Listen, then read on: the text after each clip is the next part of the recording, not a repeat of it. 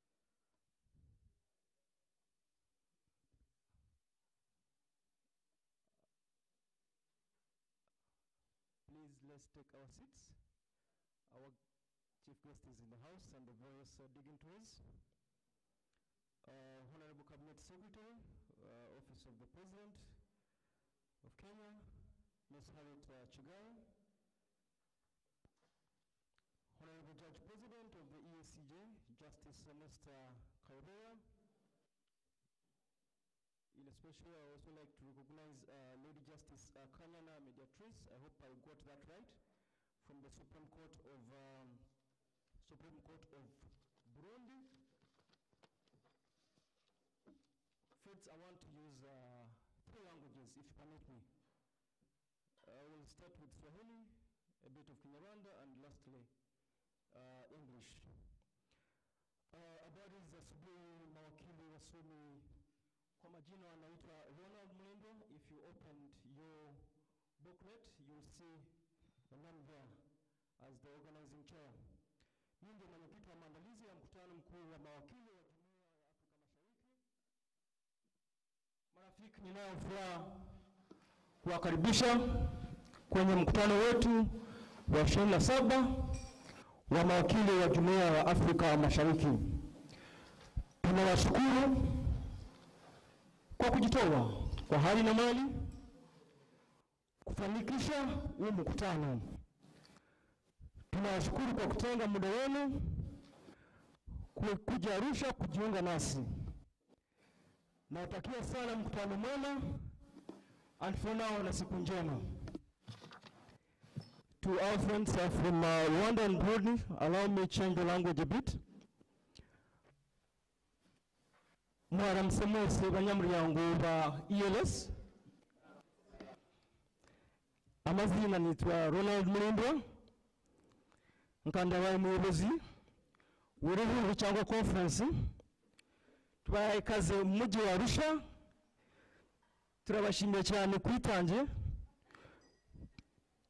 Umwanya mwahaye iri huriro. Murakoze cyane kudufatanya natwe ku nshuro ya makumyabiri na karindwi y'iri huriro. Mbifurije ibihe biza muri arusha imyanzuro myiza. Murakoze friends allow me now to address uh, my friends and brothers and sisters from uh, uganda a very good morning in the same way my name is ronald Mulindwa. i have been the conference chair for this 27th East African Legislative Conference and Assembly. I would like to thank President Bernard for giving me this opportunity to serve. Where I come from, there's something we call service above self. I am a Rotarian. When we give ourselves a minute to serve, we give our all. We put in our energy and resources to do this. I am here in my capacity as a lawyer practicing in Uganda a member of this community, but most importantly, serving you as your conference chair. Thank you very much for your time, resources, and making this happen. Friends, in case anything didn't go right, I am the guy to blame. But in case anything went right, give credit to Be- President Bernard. And you can also whisper to me, Ronald, you did an amazing job. But most importantly, we also want to take feedback for the team that is coming after us. So we shall encourage us to give us feedback, tell us what went wrong, and for the 28th assembly or conference, I hope we can do better. Friends, at this point in time, allow me to thank the organizing committee that put this together, our sponsors, leading law firms, as we said, the 10 years, and of course counting many more years that will come after us. Uh, thank you, thank you very, very much. I hope you're enjoying your Arusha. We try to keep our sessions as short as we could by ending at one or maybe two to just allow you time to go and explore uh, Arusha. President, as the organizing uh, committee chair, I would like to keep it at this and say thank you very, very, very much for the opportunity uh, to serve you. At this point in time, if you may permit me, allow me to invite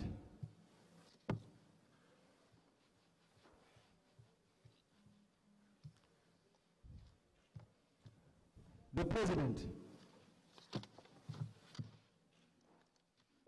of Tanganyika Law Society. I think it is delayed a bit. We shall have him uh, along the way. Uh, President Bernard, as the president, uh, wait for uh, Professor Zaya. Could you please uh, come through? And welcome uh, your delegates. A big round of applause as we receive our president.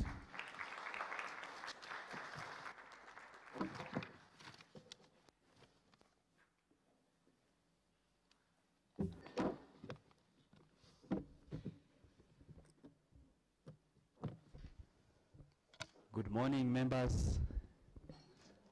Good morning, members. Good. Um, on behalf of the East Africa Law Society Governing Council, I want in a special way to thank you first. And since I have just learnt some, um, to say thank you in, in, in, in, in, uh, in, in, in, in, Rwanda, how you say thank you in Rwanda or Burundi. So I'll just say murakoze cyane. So since I'm a quick learner, I at least have learned that one. And uh, let me also in a special way thank our guests.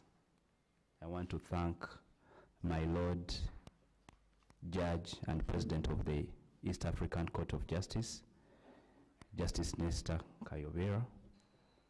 Let me thank Honorable Harriet Chiggai, who, by the way, served as a vice president of the East Africa Law Society, if I remember quite well, yes. Um, so we, we are grateful that um, the president of Kenya saw it wise to appoint one of our very active members. If you are very active in ELS, you could not have missed uh, Honorable Harriet. Let me also thank our past presidents. I have past President Richard Mugisha. As you know, we continue to build on the foundations built by our past leaders. But we also have our founding member. Is he here already? The first founding member of the East Africa Law Society. I think he'll come in at some point. Let me thank um, our former registrar of the East African Court of Justice. I request him to stand up so that you can all see him.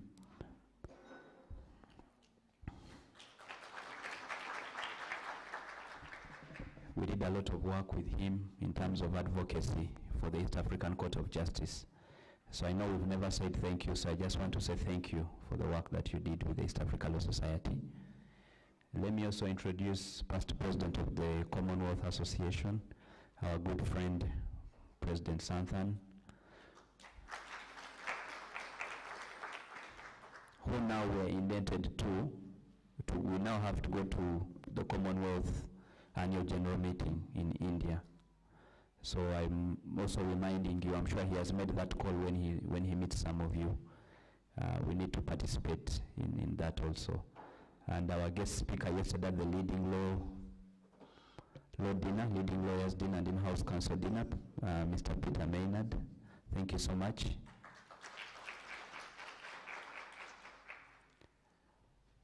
Um, governing council members, I'll just ask those who are present. I think I have the Secretary General. Secretary General, some people may not know you, so you just stand up so that at least they see you. Our General Secretary from Burundi. And, you, and you, please note the kind of wave he, he, he gives. Um, let me also welcome um, Ambassador Utajira. Thank you so much for coming. The TLS president is also here, Professor Hoseah, thank you. Deputy Secretary General, thank you. The incoming president of uh, East Africa Law Society. Who, who, who, have you met the incoming president of East Africa Law Society? Not yet? Do you, do you want to guess who it is? But if you have not met him, how will you guess, right? So let me ask him also to stand up so that you can see him.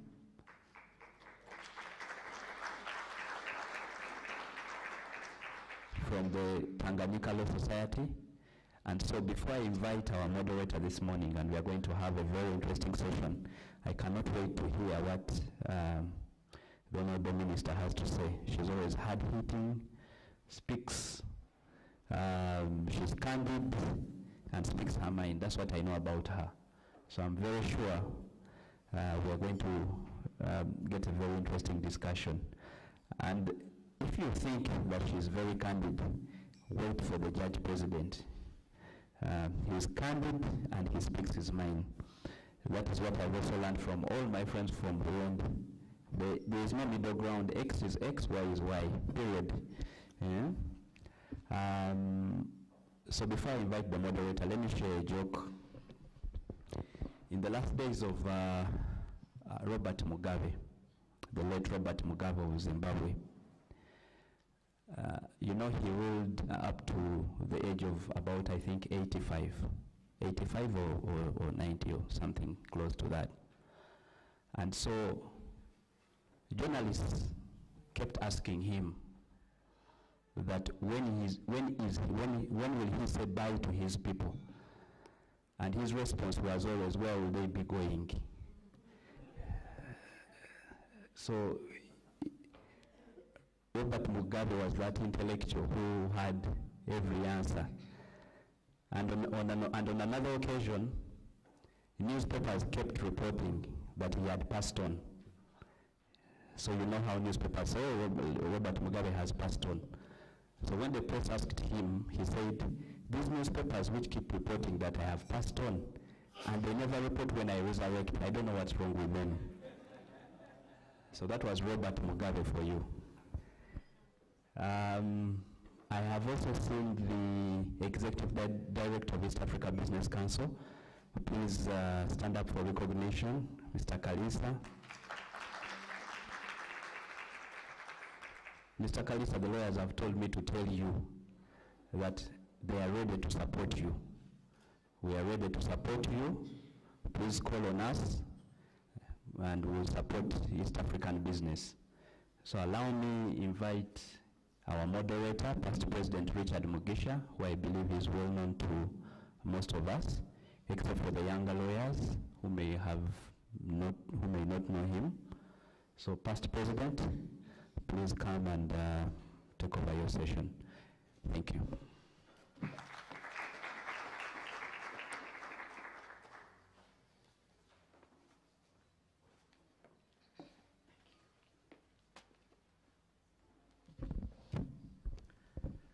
Uh, Thank you, uh, President Oundo. Uh, Good morning, everyone. I hope you are recovering from the partying. Uh, As as is the tradition here, we, we we have to combine work and partying. This is what makes the conference memorable. Uh, We have a very interesting topic for discussion this morning. And uh, it's the dream of a unified East African community, the role of lawyers and the EAC partner states. Quite a packed um, topic. I believe that everyone here this morning believes in the grand EAC project and is committed to contributing its quota to its realization. Our keynote address on the subject will be delivered by Honorable Harriet Igonanga Chiggai, Cabinet Secretary, uh, in the office of the President of the Republic of Kenya, um, in the portfolio of Advisor on Women, Women Rights. Um, Honorable Harriet Chiggai is someone I know very well, having served with her as my vice president of the East African Law Society from, for the period 2016 to 2018. She's an extremely passionate individual about leadership, governance, youth mentorship, as well as development. She was nominated uh, to many accolades, including in 2015 as the Phenomenal Africa Woman of the Year, based on her contribution to mentorship programs, transformative leadership, and governance. She's an expert on corporate governance, audit and risk, board management, and so uh, you will all agree with me that we could not have had a better presenter for, for, for, for, this, for this topic. Um, Honorable Chiggai has got a very long uh, profile, which I will omit uh, to read so that we can save time, given that we are running behind schedule. Um, on that note, please join me in welcoming Honorable Chiggai to deliver her remarks.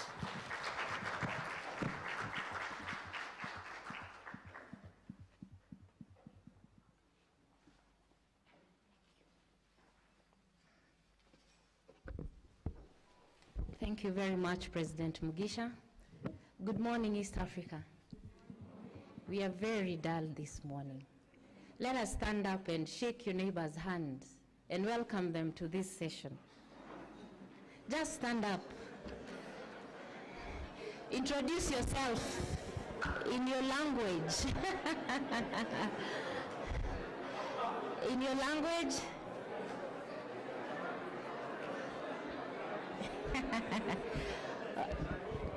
And for those of us who went out last night, that is better, isn't it?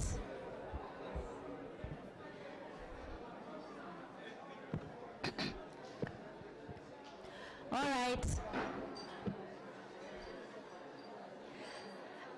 That is purely East African way of saying hello.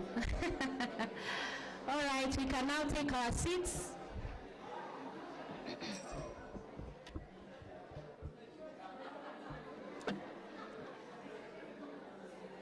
We can now take our seats.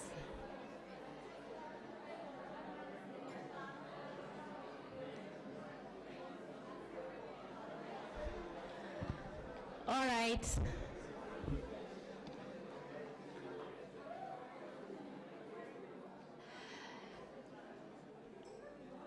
From what I see, it is clear that some of us had not even met. The hugs are longer, the discussions have been elongated, and we are still hugging each other. That is the East African spirit, isn't it? Good. so, good morning once again. Um, when I was asked to speak today, I asked myself, what really am I going to tell East African lawyers? Given the fact we've had these discussions over and over and over again. In the last sessions that we had, the discussions were purely academic. And my question over time has been, have we analyzed the milestones that we have made? We have various uh, senior lawyers seated here, and I kept asking myself, if Chacha Odera was not the one standing here,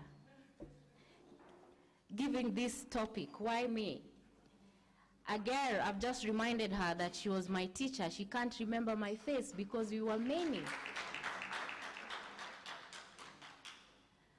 And I kept telling myself that time has come, time is moving very fast, but we keep having the same discussions over and over and over again. The one thing that I love about this Friday is that lawyers have come here with their guard down. Very few have suits. That is a, that is a good milestone. I keep saying lawyers must shake it off, you know, shake it off a little bit so that you can leave. We are too serious. And that seriousness could be the reason as to why the train is stuck somewhere in Tanganyika, somewhere. It's not going round the whole of East Africa, isn't it? So, ladies and gentlemen, allow me to adopt the salutations that were done by President Oundo because if I go through them, I can see my list here has about 20. It will take about three minutes of our time and allow me to delve into the crux of my discussion today. Um, standing here today is indeed a great reflection of my younger years in the legal profession. Back then, I recall my services at the ELS in the delivery of the current Secretariat Council, besides serving as a council member, Secretary General, sorry, and Secretary General of ELS. For sure, I'm elated to be here today for us to reflect on the dream of a unified East Africa community, the role of lawyers and EAC partners. Let me begin by stating that ELS conference is a noble idea. In fact, we should give a round of applause to the organizers and all the presidents.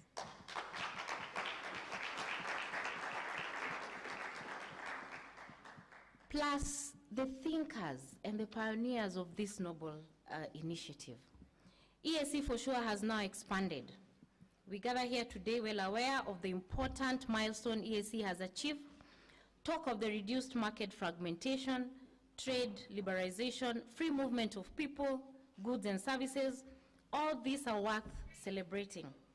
However, this growth has not been without challenges to it, tedious and costly decisions, policy-making processes, national sovereignty and lack of executive authority at EAC level, economic disparity at partner states level, and lack of equitability mechanisms. The changing of global environment, resource constraints, financial challenges, and lack of awareness among East Africans on the integration process. It is at this point that we must begin to ask ourselves on the mechanisms that can help the region to integrate better and faster. Further, to interrogate whether the EAC treaty is ripe for amendment, as well as whether the EAC protocols are serving the integration agenda sufficiently.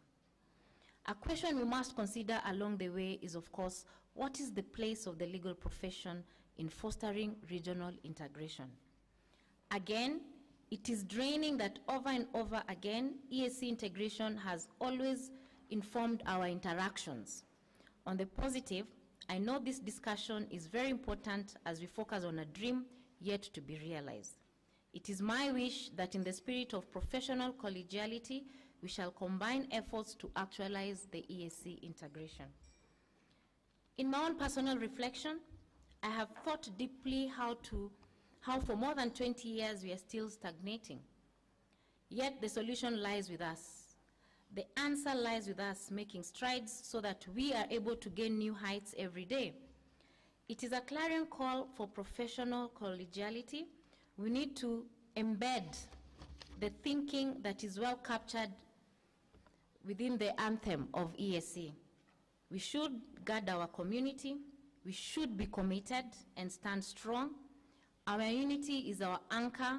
Long live our community. We must believe in those words. This prayer made by our founding leaders speaks to us. It prompts us to identify, define, and commit to taking actions from which everyone will win.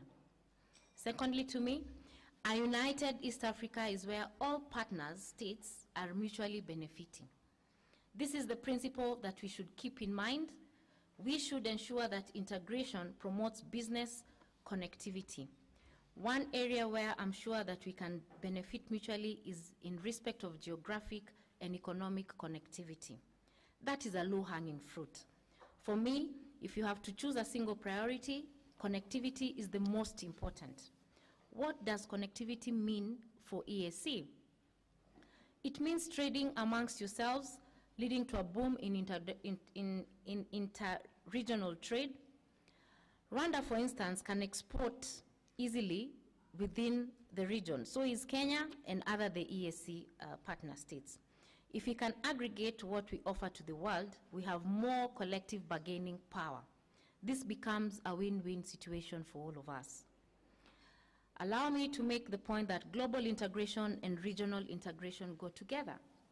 They are not substitutes. Larry point out one way for better connectivity within the labor sector that will bring more quality within the labor, within the regional labor sector. To a large extent, we already have labor mobility, especially amongst unskilled workers. The problem is what is that we are hesitant to allow skilled workers, technocrats, professionals, educated entrepreneurs to cross borders for purposes of working and doing business. Perhaps we are, we are afraid of inviting competition to our doorsteps. But I suggest that if we can extract the best out of each other in the most conducive country or environment, we will gain a collective competitive advantage within the global market. The EAC integration is not static. It's not a static idea frozen in time. It is an evolving project that needs constant reengineering. Every so often, we are called to reimagine it and adjust it to a higher ideal. Regional integration implementation gaps should be identified and addressed. We should enhance our advisory role to fast track the implementation strategies. We must issue advice in a way which fosters collaboration rather than competition. Similarly, we should champion for greater cooperation between organs of the community for more efficient implementation of laws, protocols, and programs of the EAC. I therefore call upon us to address the implementation challenges from a practical point of view. For example, in Kenya today, we have reduced the number of police stops for transit goods. Believe you me, it looks simple, but you have gained a lot of milestone in terms of how goods transit within the region. In order to ensure speedy movement of goods and services to EAC members countries, this has been a plus. We also we are also ensuring smoother operations at the weighbridges. Let us also work towards the smooth operation of a single entry. Fourthly, the making of our EAC community is not a destination, it's a journey. Each lawyer must travel this journey. Every aspect of the integration agenda is ultimately expressed as law. Without relevant legal frameworks, noble ideals can never be turned into reality. We should play an oversight role by demanding progress reports on the various programs and projects within the community. Additionally, we should carry occasional on-spot site visits to these projects to validate the information provided in the progress reports. When we are vigilant in, practical, in a practical manner, we become the voice of our people. Let us shake it off, drop the suits. Fifthly, as we work diligently on the technical aspect of integration, we must lose sight of the fact that economic opportunities create, create, we create must benefit more than just a few. Lawyers must be at the forefront at the fight against inequality. The development we foster in our time must be not just for some, but for all of us. It is my desire, and as a member of ELS, to see that the dream of a unified East Africa is realized without any impediment. It becomes important to also note that this dream should be carried with passion by professional women in the region. The region is big enough for all. Indeed, it is shocking to note that to date there is no protocol concerning women's issue, issues in particular. It is imperative to have protocols that mainstream women and girls' issues, not just on socioeconomic development, but in relation to all spheres where women and girls and the youth are involved. To achieve this, we must speak in one voice on abolishing legislation uh, discouraging customs that are discrimina- discrimin- discriminatory. We must speak in one voice on promoting effective education awareness programs aimed at changing negative attitudes. We must speak in one voice on how to create and adopt technology which will ensure the stability of employment and professional progress for all. And all of this starts with embracing dialogue and learning from other states that have achieved this aspiration to a large extent. I say this from a point of experience and interaction with uh, organizations whose priority areas have always gravitated towards economic empowerment within the region. In general, we need to face these challenges and fix them in order to become a stronger East Africa. And at times, and in times like this, when climate change is a threat, when hunger is ravaging our population, and when floods are causing havoc, we need a plan for integration that can help pull us together, not split us apart. We are each other's countrymen and women. We share this miraculous lands called East Africa. The East Africa and its heritage is yours and mine and everyone else, so long as they are willing to pledge allegiance and understand the solemn responsibility of EAC integration. Let us hold together in the face of our challenges. Yes? Let us be more than allies to each other. Let us take on each other's struggles as our own. My philosophy in life is to build on the conviction that we are strong together, not separated in factions or sides, not shouting over each other, but together we can move forward. The EAC community is stronger when everyone contributes to it and everyone can benefit from the work they do. Our communities are stronger when we all pull together to solve our problems and restore our faith. Allow me to say, coming together is a beginning, keeping together is a progress, working together is success. EAC is stronger when we work with friends and allies to promote peace, prosperity, security amongst member states. When all is said and done, raising awareness campaigns on EAC integration process across Africa will be something to be proud of. Ladies and gentlemen, I have spoken about the challenges facing the integration of the East Africa and the need for us to play a role in realizing a unified EAC. I will not end without pursuing us to look into the history of East Africa establishment, always from a dream, always from the dream of our four leaders, as this will inform our actions henceforth. This is so because history is faithful, is a faithful compass to the future. As one man statesman said, the further backward we look, the further forward we are likely to see. Our past should not hold our progress. Our past should be the basis of our better future. Can I repeat that? The further backward we look, we are stuck in our history, isn't it? The further forward we are likely to see. Our past should not hold our progress. Our past should be the basis of a better future. I wish to reiterate that our region's process of integration should be citizen-centered and should also seek to foster the active participation of the people of East Africa. We must participate actively in advising our respective governments to give regional integration the seriousness it deserves. This means that some of the unfounded attitudes of superiority or fears of competition must be changed. Finally, we continue to laud ELS leadership in embracing inclusivity by bringing on board Young Lawyers Conference, the Women Lawyers Conference, and the in-house counsel conference, which were actually missing. All these groups bring brilliant ideas on the table.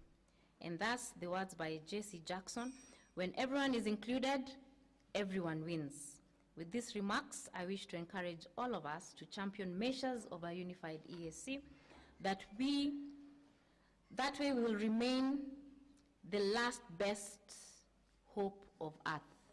Thank you very much.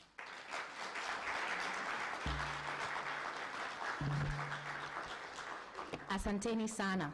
So to my teachers, you can see what you build. To my mentees, uh, Masood is one of them. I can't see the others. How many are you here, my mentees? Good, you can be better than me. Asanteni sana.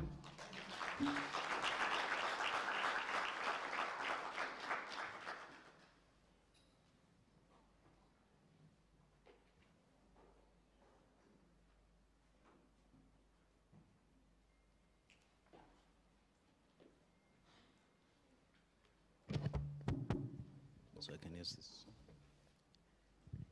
Testing, testing. Okay. Uh, another round of applause to our speaker.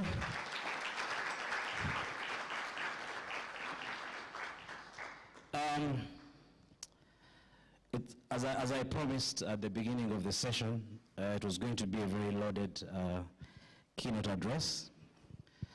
Um, key highlights uh, are that we have to work together. Uh, working in a fragmented manner cannot help us to make progress. We um, should not be uh, uh, held hostage by our past failures, but rather we should be working hard to overcome them.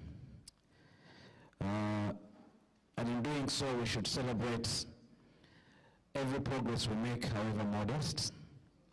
A case in point is what uh, has been done in Kenya around uh, trade facilitation.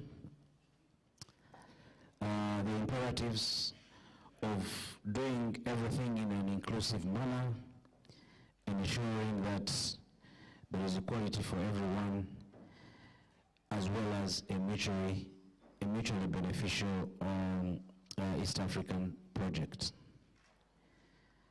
Quite a lot to digest. As we um, try to take it in, I will ask two questions to our um, speaker before I open it up for, for uh, to the plenary. Uh, Honorable Chiggai, uh, for the EAC projects to work, it is also important that, that the constitutive states must be strong and effective for them to contribute to this project. What do you see as the role of lawyers in first and foremost contributing to the building of effect- effective states in their own countries? And maybe because the second question is tied to the first, what should we be doing first and foremost as individual lawyers? What should, what should we be doing as law firms, for those of us that are grouped in law firms? What should be the role of the national law societies? And then what should we be doing together as ELS? Thank you.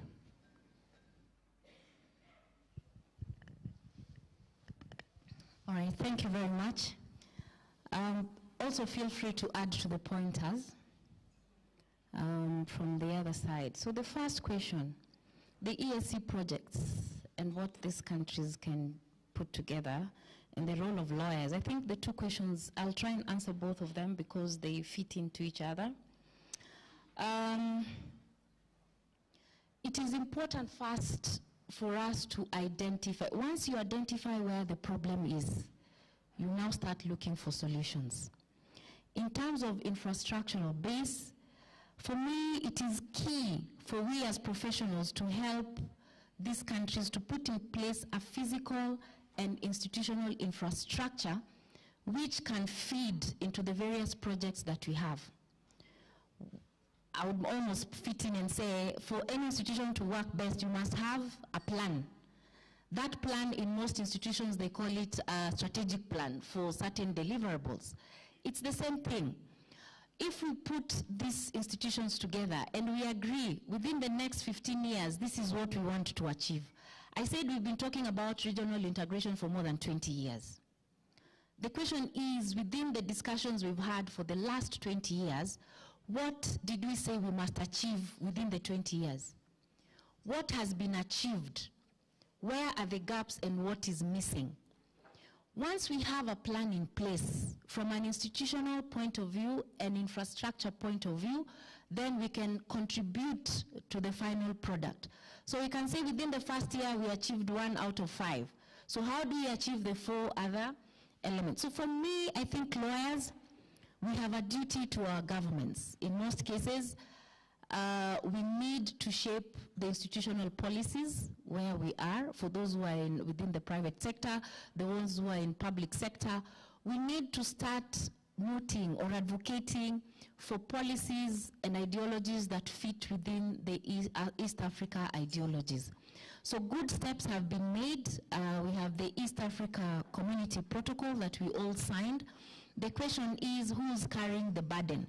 Have we left the burden to the various ministries and we have packed our bags and left and we meet here every year to discuss about integration, party, have our AGM, elect leaders, and go back. Um, there's beauty when we take um, leadership and we also take account of what we keep discussing. So for me, that would be key that we have to build our institutional infrastructure and ensure that even at our individual level, we have ensured that we participate. We as lawyers, from an individual the president said we have very few Tanzanians to hold our hands and take us out there. So yesterday I took myself out there. but that's where it starts, isn't it? Simple things that build to the bigger picture. How many friends do we have within the East Africa community?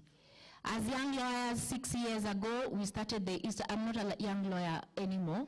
We started the East Africa Young Lawyers Conference. It was turbulent. And within that conference, we, we call ourselves the East Africa Ambassadors. Within that family, we have so many leaders within our legal profession that have emanated from that pool of people. That, those are the small things that we need to do. Have your friends. When I need something in uh, Rwanda, I simply call P. Who is P? The current vice chair of uh, ELS. Is not in the room. But they, are, they were all part of the movement that brought the young people together. But that movement was actually to do good for the region. Most of them are now in different bars as leaders, and that is what we are talking about. So if that means we have to keep the wheel moving, either at individual level, but positively so. Let us shun the negative energy that brings our institutions back. So we need to build on that, keep building on that, keep building, and keep passing down the dreams of the integration. As older as we get, our energies also go low. So the older you are within the profession, ensure you mentor the others so that they keep moving the wheel so that it never stops. So that is at individual level. Within the legal profession, there's a lot we can do. There's a lot of research work that needs to go into this. There's a lot of work that has been done, which is sitting in shelves somewhere. We are not able to implement that. As lawyers, we need to shape the policies within our countries. We need to be able to move together. We need to be able to advise our governments. We need to be able to do advocacy within that level and try and convince our governments that this is the right way to go. Uh, we've, talk, we've talked about the historical issues that keep taking us back. How then do we broom? We sweep the room. How do we sweep the room? We can only sweep the room clean as big as it is if all of us participate. So let us all take a broom and start sweeping. Thank you. Um, thank you very much. I'll now allow two questions um, from the audience. Uh, do we have a mic somewhere? Oh, we have to share this.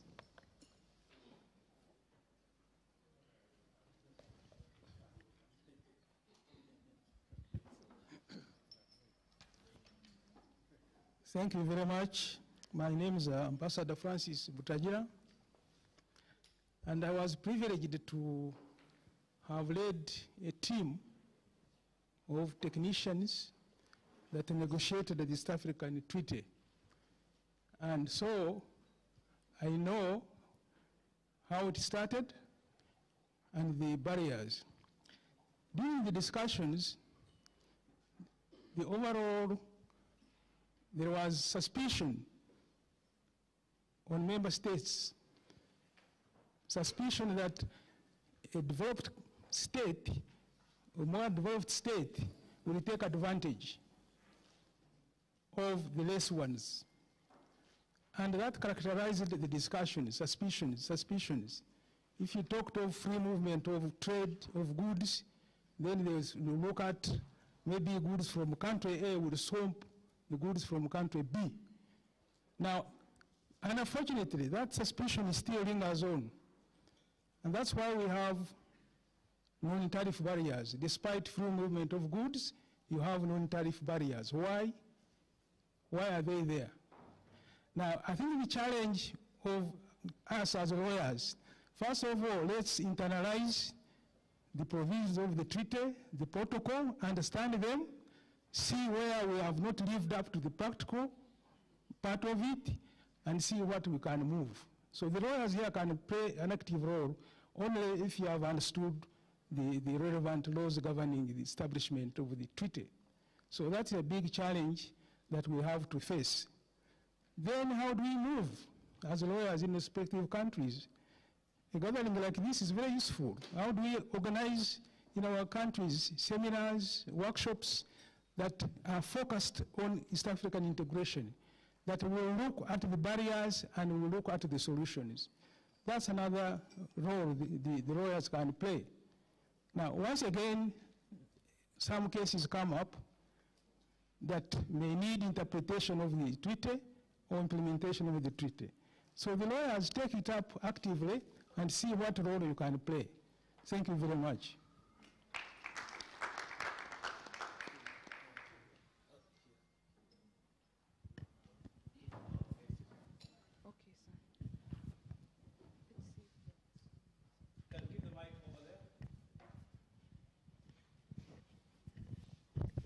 Thank you. sir.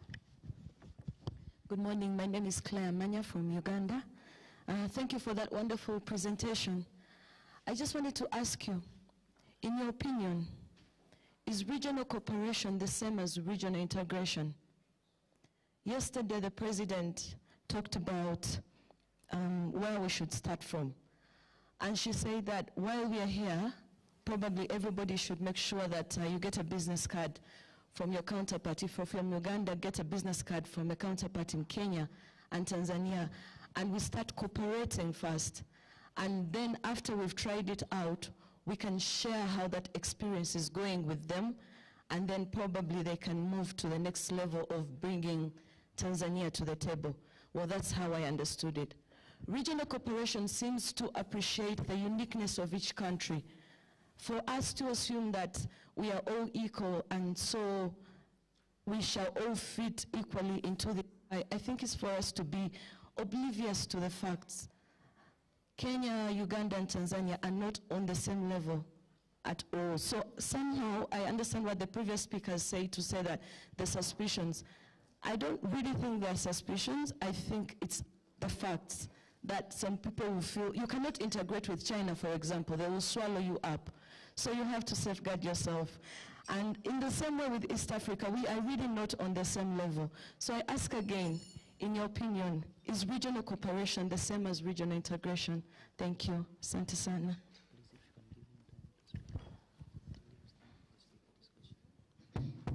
Uh, uh, we will take some uh, uh, other questions. However, now uh, uh, the judge president of the EACJ has to leave to the airport, and he wanted to say something before he travels. If we can allow him to say a few words before uh, we can conclude with our panel discussion.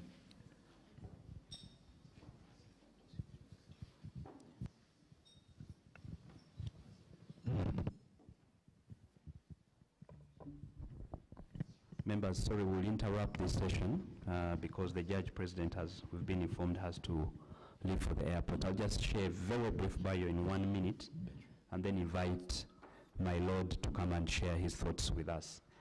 He is currently the president of the East African Court of Justice. He has a master's degree in international public law from Hope University, Bujumbura, and a postgraduate diploma in law mediation and arbitration from the Institute of Social Work, Dar, Tanzania. His previous experience includes being a Director General of Judicial Organizations and Principal State Attorney of the Republic of Burundi. He has also served as Principal Legal Advisor, Office of the Minister of Justice and Attorney General, Burundi, and has also been part of the experts on verification on the admission of the Republic of South Sudan to the East African community. My Lord, I would like to invite you to come and address the members of the East African Law Society. Thank you.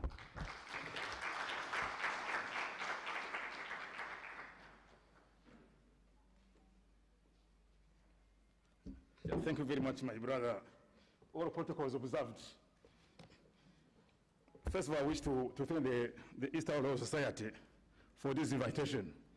You know, our court has, uh, we have been in Uganda from 23rd of, of, of, of October, and we'll be there for, for 40, for 40 days.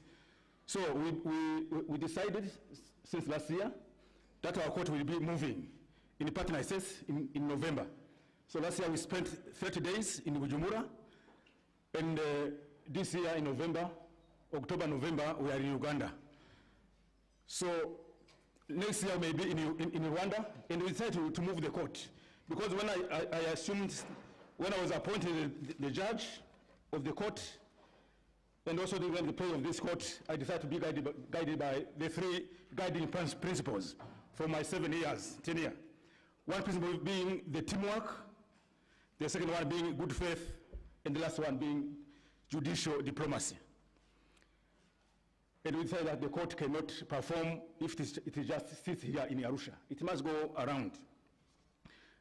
Normally, the law of the, of- the East African Law Society is key in implementing the agenda of the community. As my brother ambassador says, very rightly, you cannot contribute very seriously if you don't know the, the, law, the law of the community, the treaty, the protocols, the annexures, and the, the whole law of the community. So we, in our court, our Eastern Court of Justice, we know that the, the Eastern Law Society has contributed in its jurisprudence. Because be- before I was appointed, I, I- I came from the bar to the bench. I've been, I've been practicing for 10 years, 12 years in the Eastern Court of Justice. I know that you, the lawyers, the Eastern Law Society has contributed too much in, in, in uh, enriching the juri- jurisprudence of the court. But uh, it was surprising when we met with the Tanganyika Law Society, Arusha chapter. Some of the lawyers don't, even understand this court. And they are here in Arusha. So if we ask them about the judicial of the court, access to the court, most of them they don't know. So I think it's better, as Law Society, to train the lawyers on the law of the court, implement the, ag- the agenda of the community. In Uganda, there was a minister who said that uh, we have to be careful because this court can be interf- interfering with the sovereignty of the partner states. But how can you, how can you say the court will intervene, will interfere with the sovereignty of the, of the states? Instead of cleaning your house, implementing the, the, the, the law of the community, because the truth is clear. The truth is clear. The, principle, the principles and Article 60D and 72 on good governance, including the, rule of law, social justice, gender equality, accepted standards of human rights, which shall govern the achievements of the objectives of the community by the partner states. So the court, we have, now we are, we are in Uganda, we are deciding cases from all the partner and we, are, we don't fear whenever we are interpreting the, any provisions of the treaty, including Article 60D relating to human rights. So what I can assure you, my brothers and sisters, the lawyers, the academicians, the judges, I can see my sister judge from the Supreme Court of Burundi, without the people of East Africa knowing the treaty and the laws of, of the community, you will not really contribute cleanly in also in implementing the agenda of the community. This kind of, of, of conferences are very, are very important, at least because they bring all the lawyers from all the, all the. Last time when we decided the case from Kenya on, on, uh, on, on uh, uh, Honorable Martha, Martha Karua case, when we hear the, the government lawyers coming from the partner they say, no, you know, this matter has, has been decided from the Supreme Court of Kenya. Why are you interfering with the judicial from Kenya, from the partner states? But uh, for us, we are not a- an appellate court. But when we, when we look at the, the, the judgment from the partner we put them on the balance and they see their compliance with the, their international obligations. The matter coming from Burundi, even from the Supreme Court, from the Constitutional Court, where we say them, you, you see, uh, you know, you are interfering with, with, our sovereignty. What sovereignty are you re- referring to? You must, we, we are saying, my brother and sister from the East African Society, train your lawyers, train your lawyers, a trade lawyers. Asanteni sana.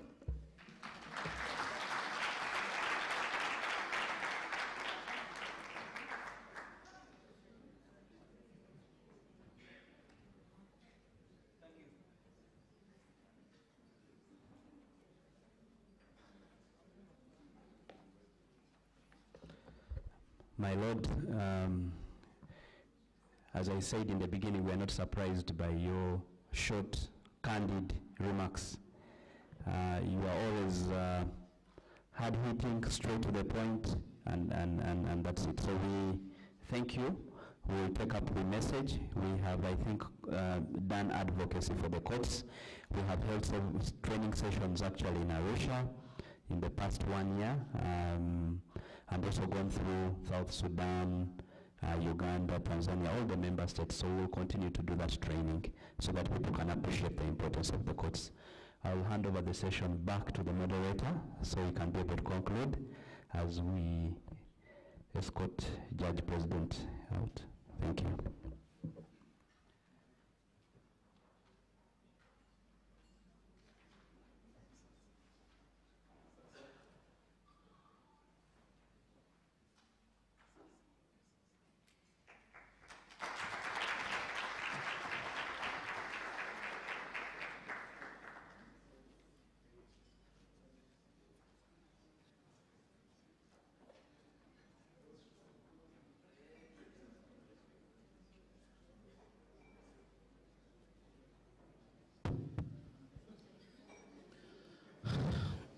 Yeah, I think uh, the judge president leaves us on a very good note. If you are going to be a relevant player in realizing the East African project, at least understand the law, the treaty, its provisions, as well as the annexures. I think it might be more efficient to allow the speaker to first answer the first two questions. I had seen several other hands, so we could let her first answer the first two questions, and then we can add uh, uh, another question. Or do, or would you rather take them all at the same time? You want to answer the first two? Okay, thanks. All right, thank you very much. First, the beauty about the questions asked is that the answers are already given. Um, on the issue of gaps, I think we had gone through that, and there's a lot that we need to look at when it comes to the gaps. First, we have our domestic laws that some of them need to be appealed for us to be able to move together. Our national policies need to be looked at. The geographic terrain is also different in terms of the business entities and then the inefficiency in terms of policies. So that is a good way to look at it. So we have to find those gaps and then see how to address them within our various uh, countries before now we put our heads together. The second question was the issue of cooperation vis-a-vis integration. And you actually answered it. You cannot have integration without cooperation. When you read the EAC uh, uh, protocol, you realize that there are certain uh, um, areas where we need to cooperate that leads to integration. So you cannot speak of integration without cooperation. So maybe the question that was still left lingering was the question of suspicion. This question is the same question I asked. Do we need to cling to our past that blocks us from moving forward, or do we need to learn from our past experiences, identify the gaps, and allow ourselves to grow? Again, for those who are in business, including our lives is a risk, isn't it? We normally say our lives are risks. The time you wake up in the morning, it's even a risk to go to bed because you don't know whether you'll wake up the next day. So do we want to take a risk, a calculated risk, and allow, and allow the region to breathe and grow? Or do we want to continue sleeping with the historical past that keeps blocking us from moving forward? Now, how do we kill this suspicion that keeps lingering around? Let's start by being friends, which we're already doing, isn't it? after we become friends and we get to understand each other and each other's dreams, vision, plans, then we can agree to work together, isn't it? So for me, really, let us not make this suspicion continue lingering in our rooms to an extent that even when our grandchildren are born and they're here, they will still be talking about suspicion within East Africa community. We need to move, and we can only move if we take calculated risks. We can only move if we agree that we want to move. We can also move if we agree that we can do the risk analysis. That's the work of lawyers. Why don't we do SWOT analysis within our regions and risk analysis and tell ourselves this is a small risk, we can try, we can try. This is a big risk, let us try and mitigate the risk, then we take the risk. That is how business is done, isn't it? So for me, I remember when we joined the society, when I, I came here for the first uh, ELS conference during Donald Deya's time. I don't think, I've not seen him in the room, but I've seen him around we still had the same discussion. I was a young lawyer then. I'm not a young lawyer now. So that is my worry, that we keep talking about the same things, we keep asking ourselves the same question, and we are stuck. So the question then is, what next? The answer is with you. Thank you very much. I had seen uh, uh, the Executive Director of the East African Business Council. Please pass him the mic. And then um, there's uh, another hand there. Yeah. Uh, good morning. Yeah, allow me first of all to uh, appreciate uh, my brother, the current um, uh, president of uh, East African Law Society, and also uh, appreciate the, the, the presenter uh, for the good presentation. Um, I have uh, two questions. One is the, is the treaty, and uh, it is part of your remarks, and also the protocol. Um, I've been wondering if the treaty was properly crafted and the protocol uh, enshrined within the treaty. Uh, when we looked at the treaty, there are important principles uh, that govern the treaty, people-centered integration and market-driven integration. Uh, but when you look at the, the process the EAC has been undertaking, integration, it has been um, what we call a level of integration, counting the stages of integration, but not consolidating the gains emanating from each stage. Customs union, common market, uh, then we are moving towards monetary union. We are also going to political federation. But as um, the legal practitioners, I thought there is some a bit of work that is required in terms of um, understanding the treaty, understanding the protocols, understanding the annexes, and look at the, the gaps and the nuances or ambiguity within the, the instruments. The reason why I'm saying that, and uh, it has a very strong justification, that when you look at the intra-regional trade, the situation is alarming. Currently, we are talking about 18% our trade amongst ourselves. Other countries, other regions are talking about 60%. So there's a lot of work that we need to do. The integration is not serving the people, it is not serving the business community, the moderator mentioned about uh, the barriers. And we always, uh, and I want to thank the current president that now uh, the legal society, we are working together with the ABC, at least to interpret some of the protocols, to, to guide the trade, to guide the business community, because we are very stuck. We are very stuck in terms of the instruments. Let me just give two important instruments that are very critical that you need to reflect on. One, under the customs union, there is what we call trade remedies committee. It is now 17 years down the road that the committee hasn't functioned. And that is the instrument that would guide, would resolve some of the emerging conflicts. Two, there has been an effort to have an NTB Act. It was uh, enacted in 2015. It was reviewed our gaps, It was reviewed since 2017. Six years down the road, it is still under legal scrubbing. It is still under legal scrubbing. Do we have a sense of urgency in terms of integration? Lastly, I realized that we used to have a good tool called uh, Common Market Scorecard. Yesterday I was with the, uh, the, the current minister of EAC from the Republic of Kenya. That common, uh, common market scorecard was a good instrument to look at the legal and regulatory compliance, what we call legal audit and regulatory, where are we in terms of uh, uh, looking at the national laws vis-a-vis regional laws, what is the convergence, what are the divergence, and we could assess which country is doing that. But the problem was that that tool was funded by World Bank. Uh, then when World Bank withdrawn, then it ceased to exist. So the common market currently is stuck. We are stuck. We, in economics, we call it being in economic quagmire. You cannot move forward. You are in mud, you cannot move forward, you cannot move backward. You are stuck.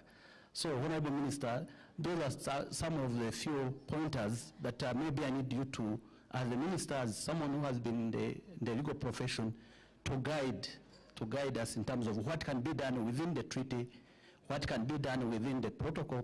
Do we have an enforcement mechanism to ensure that those good tools uh, can be implemented? Thank you very much. So one, one final question here. Give her the mic. okay. It was supposed to be here.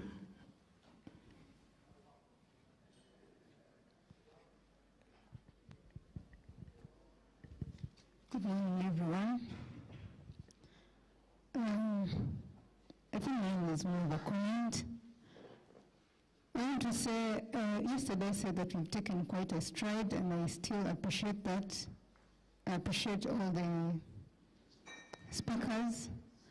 And I want to say that uh, from, from uh, what my predecessors have said, we've had uh, East African Parliament, we have East African Law Society, we have a joint army.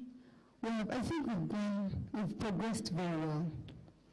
And I want, I want us to appreciate the fact that we have different, we are different levels in our economies, different GDPs, but what we have in common and what we should, what we should uh, labor to protect and what will lead us to go forward is the fact that we need that common market.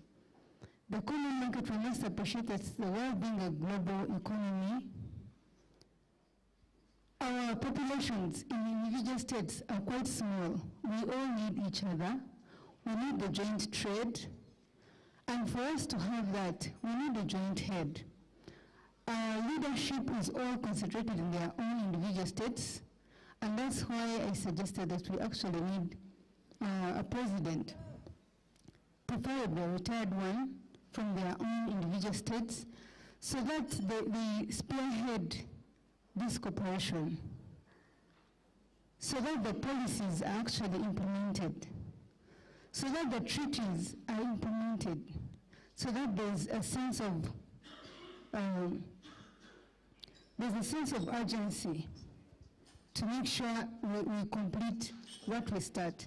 But if we sit and our East African Parliament sits and passes, you know, laws, and these laws go back to individual states, we are able to move forward to protect this joint market. But as the global economies are growing, we stay a little bit back. We need to market. Right now, um, I got involved in business of exporting.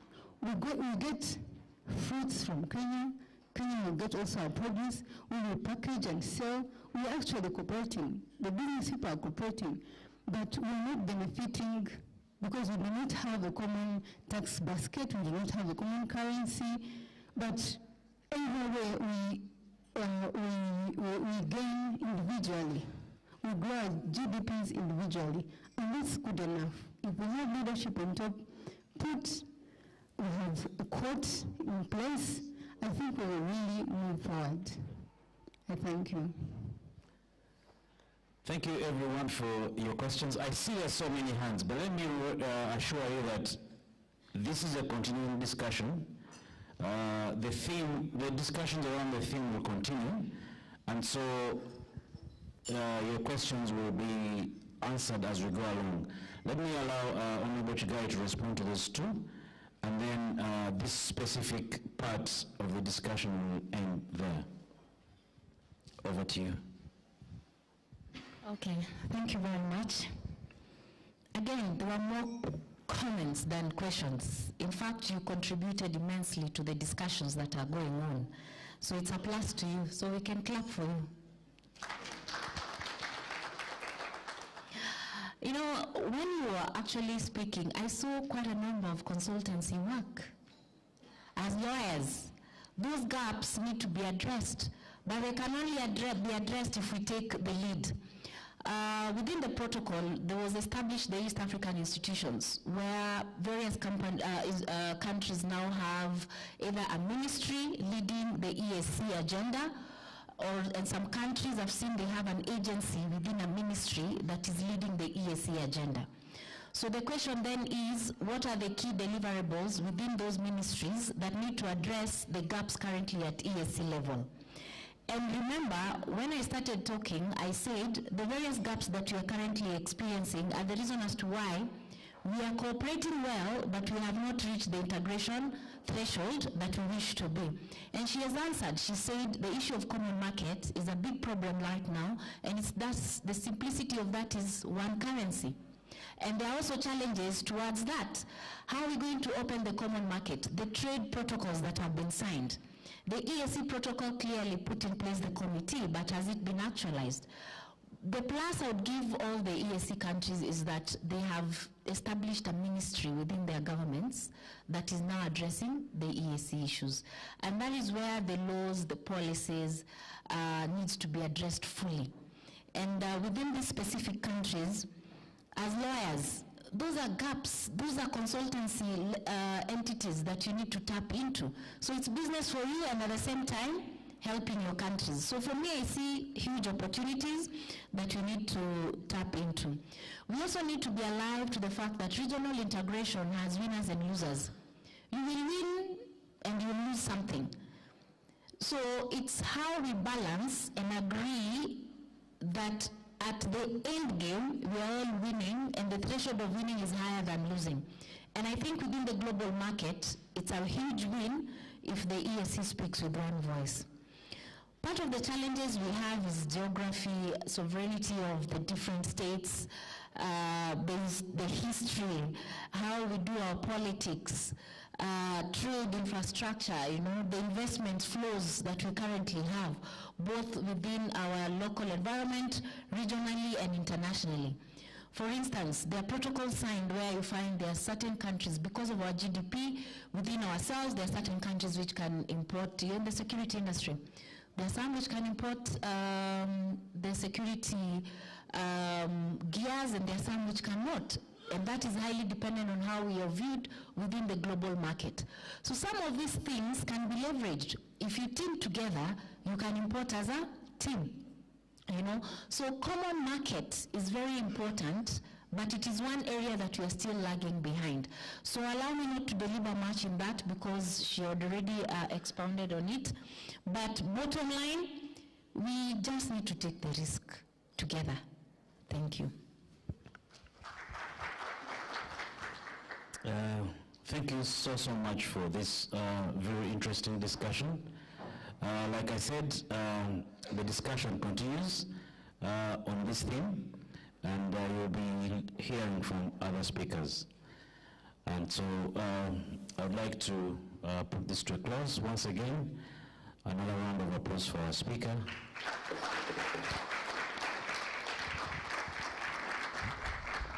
Uh, friends, we can do better than that.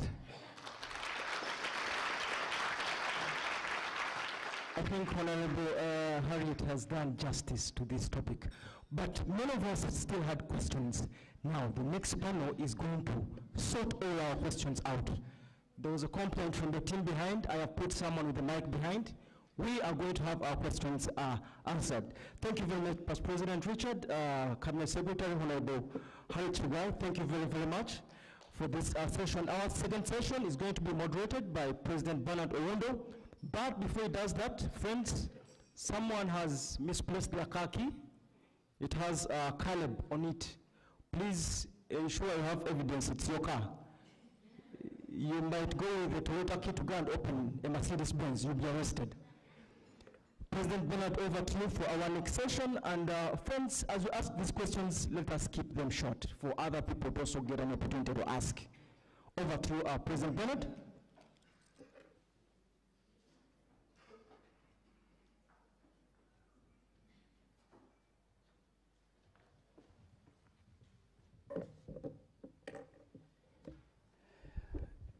Because of the time, um, I'm going to ask our panelists to come. I'll introduce them as I introduce them. I was asked to ask, I was asked to moderate this session, I think, probably because of the passion I have for EAC integration. Um, and most of the people we have invited are key players in this uh, EAC integration. So allow me, members, invite Honorable Josephine Lemoyan, Member of Parliament, East African Legislative Assembly. She here? Oh, thank you. Please come. Mr. John Bosco Kalisa, Executive Director, EABC. Honorable Dr. Kalusi Kalumia, Honorable, Honorable Consul, Consulate of Malawi, and Senior Partner of Kampala Associated Advocates. Please, please come. Can we welcome them with uh,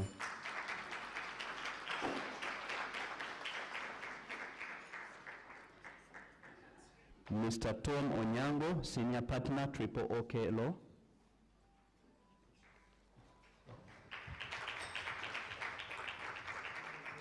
Mr. Hannington Namara, Managing Director, Equity Bank Rwanda.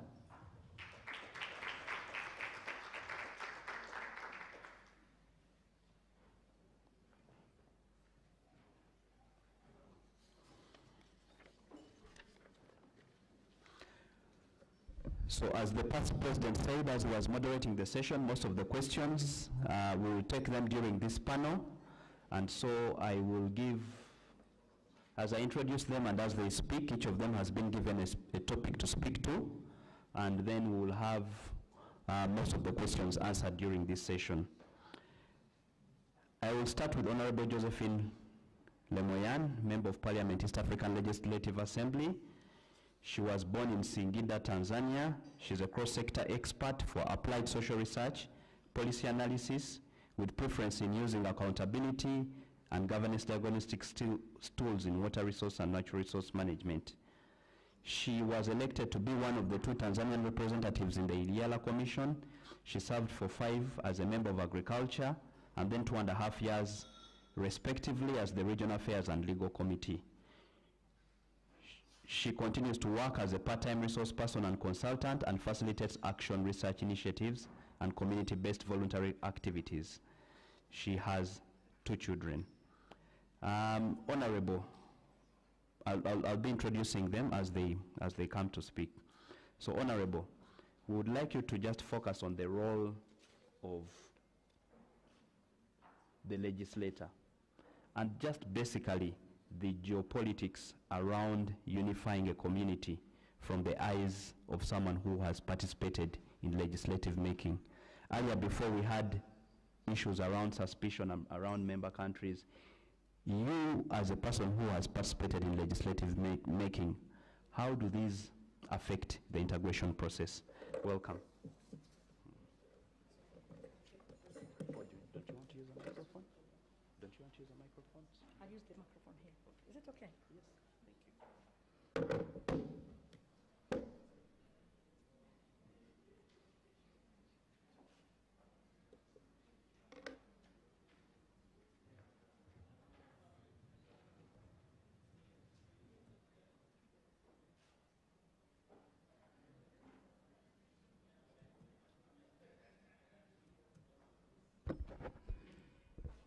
Good morning. Or is it afternoon? I think it's still morning. Uh, I'm not sure how to do the salutation properly, so I'm going to say all protocols observed. But uh, I appreciate very much to be invited to come and speak to you, uh, learned brothers, sisters, Uh, is that the right way of saying it? I'm not sure. But I'm very, very happy. I'm humbled. I'm totally afraid that I'm going to make many mistakes. But uh, uh, I'm also confident because I'm a teacher. Mimi ni mwalimu. So, because I normally teach from the small children to the young people, women, and the elderly, my confidence is there, and I hope I'll be able to engage with you effectively, and uh, I'll try to be as efficient as possible. I have only 10 minutes, I think. Okay, so I'll try to stick the 10 minutes. My presentation, when I was preparing it, I was completely, completely uh, disoriented because I knew that I'm coming to speak to you as experts of, in lawmaking while I participated in that process of making laws in East African community while I was not an expert. But I knew that I could make a, a contribution from uh, my diversity. So that is what gave me confidence to accept the invitation to come here.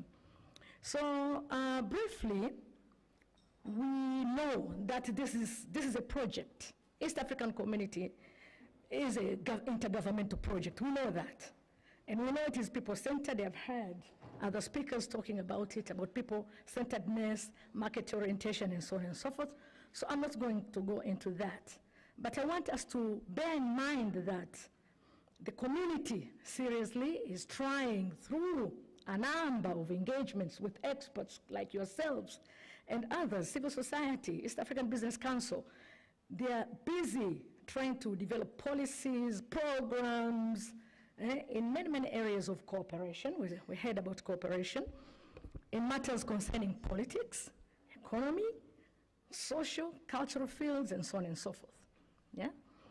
And we, we, we expect, after we complete the journey through those four stages, eventually we are going to have one East Africa. And uh, maybe uh, down the line, we are going to be one Africa through the, the, the, the, the initiative that we've started just recently. Now, I'm going to be a bit formal and a little bit informal because uh, when, I, when, when we stick, and that is my feeling, when we stick only to the formal, the laws, the processes, the protocols, the blah blah, yeah, we lose sight of the informal, the reality on the ground. That's why we have these issues of suspicion. We are suspicious. But what is this suspicion all about? What is this fear of the unknown that we have within ourselves?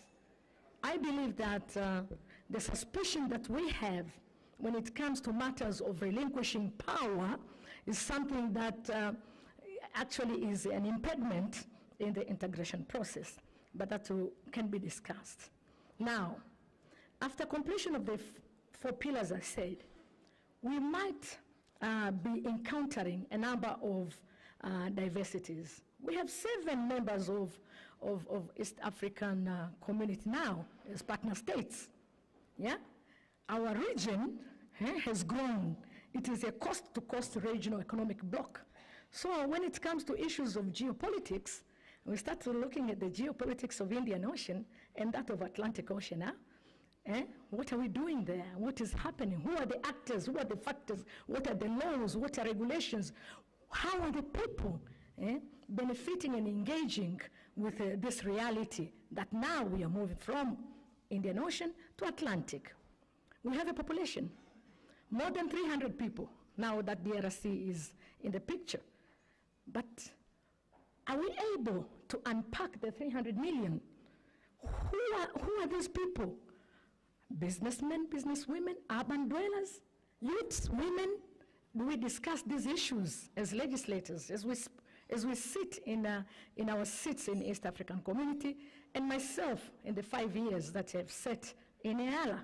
Do I know what is happening to the young people and what opportunities are there when we have this diversity that is brought about by the seven countries which are members of East African community? So East African community, now we are becoming very, very popular geopolitically because of the vastness of the area, but because of all the resources that we bring together. For example, yeah, if we start with the former three member states, URT, Republic of Kenya, Republic of Uganda, yeah, what uniqueness are brought about to the table, what opportunities are brought to the table that we can tap on and make sure that we benefit and we ensure that integration takes place. Rwanda and Burundi comes in 2007, Francophone. What did they do? Yeah?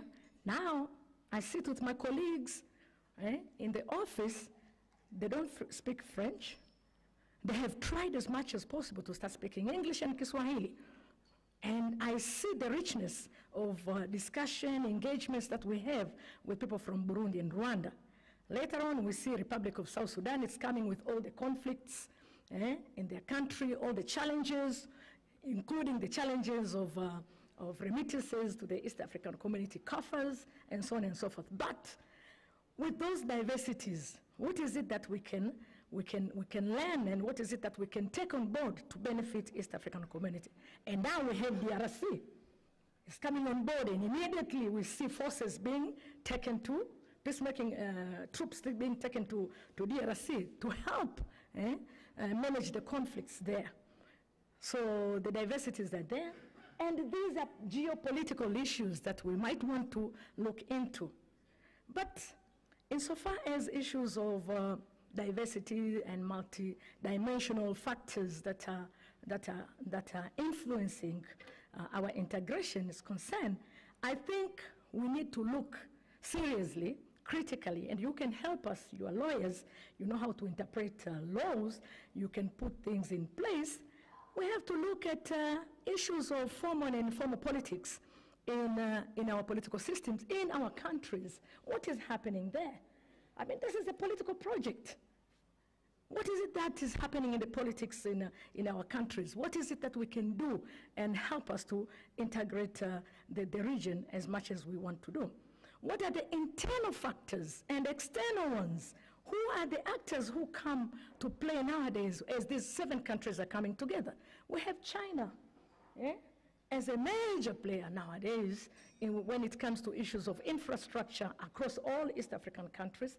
But when it comes to issues of uh, uh, extractive uh, uh, uh, resources in all seven countries, and in particular uh, DRC. Uh, I want also to, to, to look at uh, issues of um, uh, uh, electoral processes, emergence of media pluralism in all our countries, but more importantly, when it comes to young people, the growing use of IT and ICT uh, in our integration process. How can we make use of uh, IT ICT and new spaces that are created through the use of uh, TEHAMA in, in, in our countries? Nowadays, most of the trade is done, is done through IT and ICTs. My, my mother, who wants, who benefits from uh, the, the, the, this process of integration as a cross-border uh, trader, cannot use a hand phone a, hand, a handset, the, the, the, the new one, the Pangusa Pangusa one, yeah? She cannot use it. But what is it that we can do that she can be helped together with many others who are there uh, in order to uh, make a, a, good use of the opportunities available to us through East African cooperation.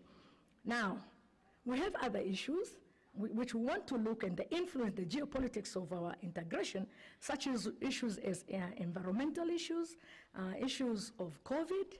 COVID has affected us very much. And what is it that we have done in responding to COVID? What new regulatory frames do we need to put in place, which are friendly and useful to our people and help them to, uh, to benefit from uh, the objectives of, uh, of, uh, of, of this integration?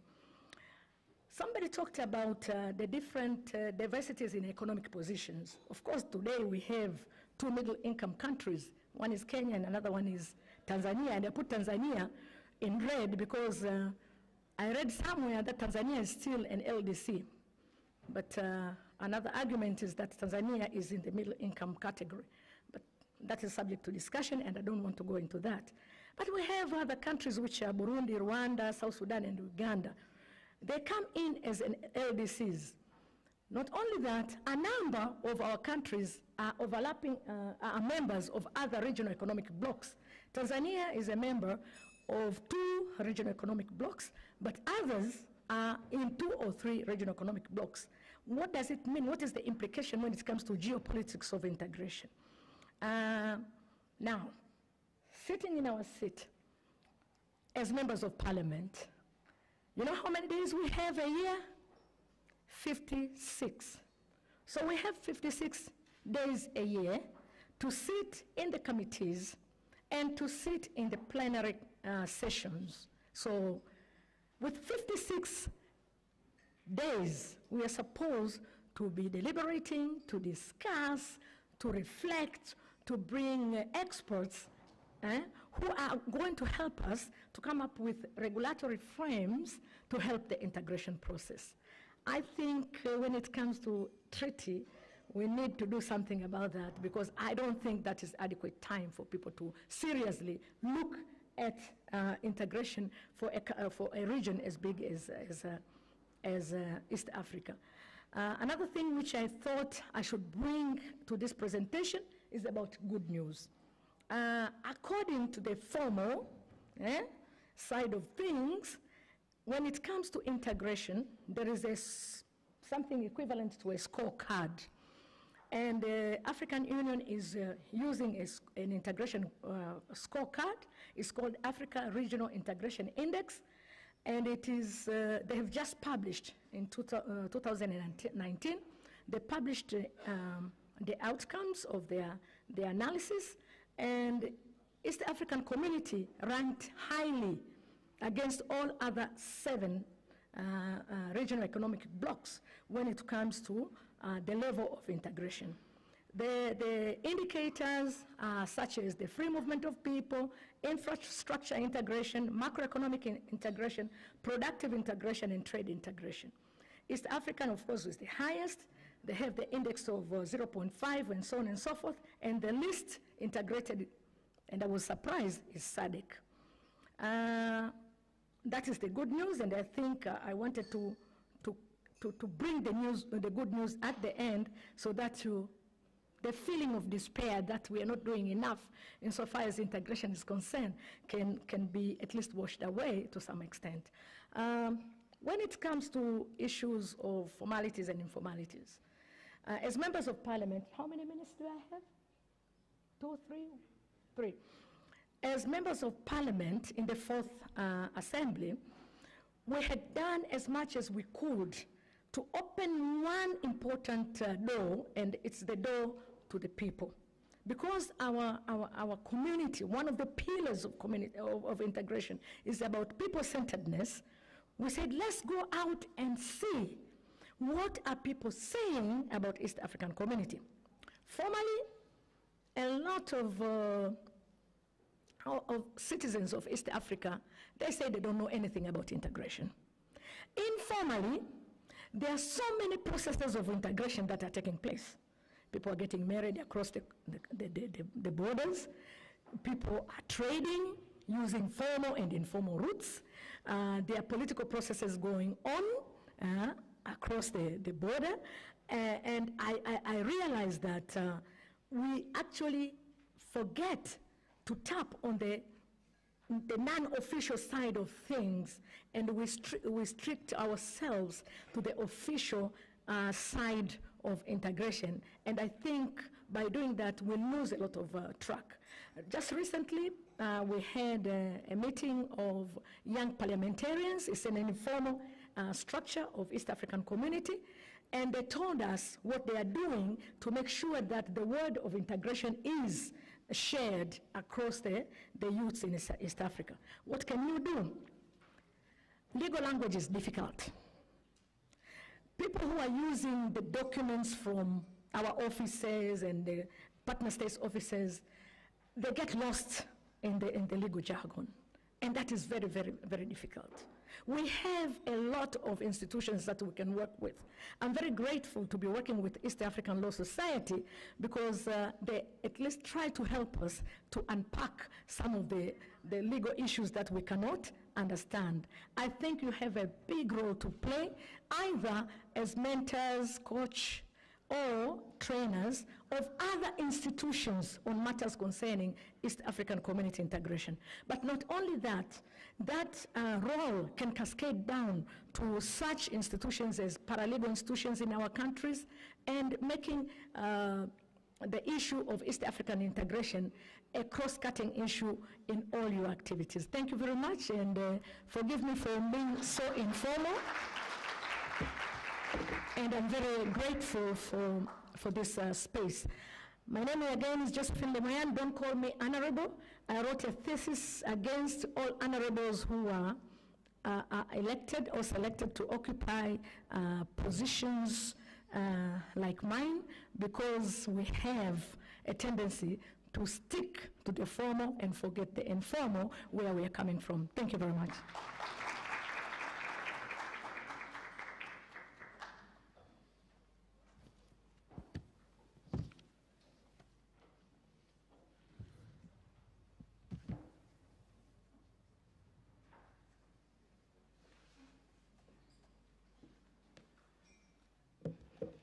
Thank you so much, uh, Honorable Member of Parliament. I think you've raised Mwalimu and Mwalimu. I think you've raised uh, so many important points. One of them is what, what uniqueness should, is brought to the table, what opportunities do we have. Uh, we also need to reflect on the need to look at the time that legislators spend at the EAC Parliament, which is 56 days in a year. These are things we need to reflect on. But while that is said, we must also understand that the African Union Regional Integration Index reflects us as doing well um, before a number of other, other centers. And more importantly, being people-centered, uh, which is very key. So we now move to the business case for a unified East African community. Do we really need an East African community? And to discuss this is Mr. John Bosco Kalisa, who is the Executive Director of the East African Business Council. He's an economist by profession. He has an in-depth understanding of regional economic communities. He has experience in private sector development and competitiveness, and he has previously served as the country director of South Sudan for Trademark East Africa. He has also worked with the Rwanda Private Sector Federation. Please welcome with me Mr. John Bosco Kalisa.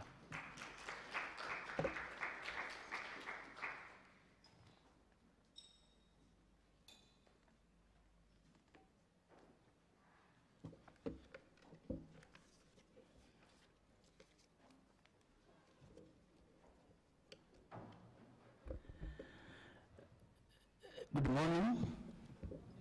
Habari. Bonjour.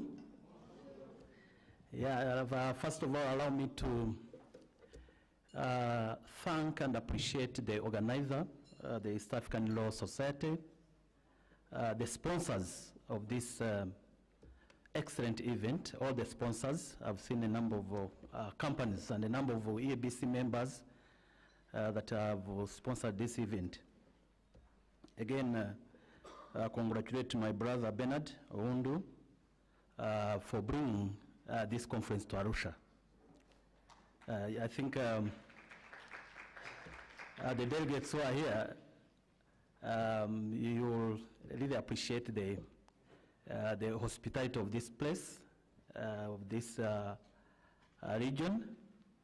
I came yesterday from Nairobi and I came with a number of the delegates from different partner states.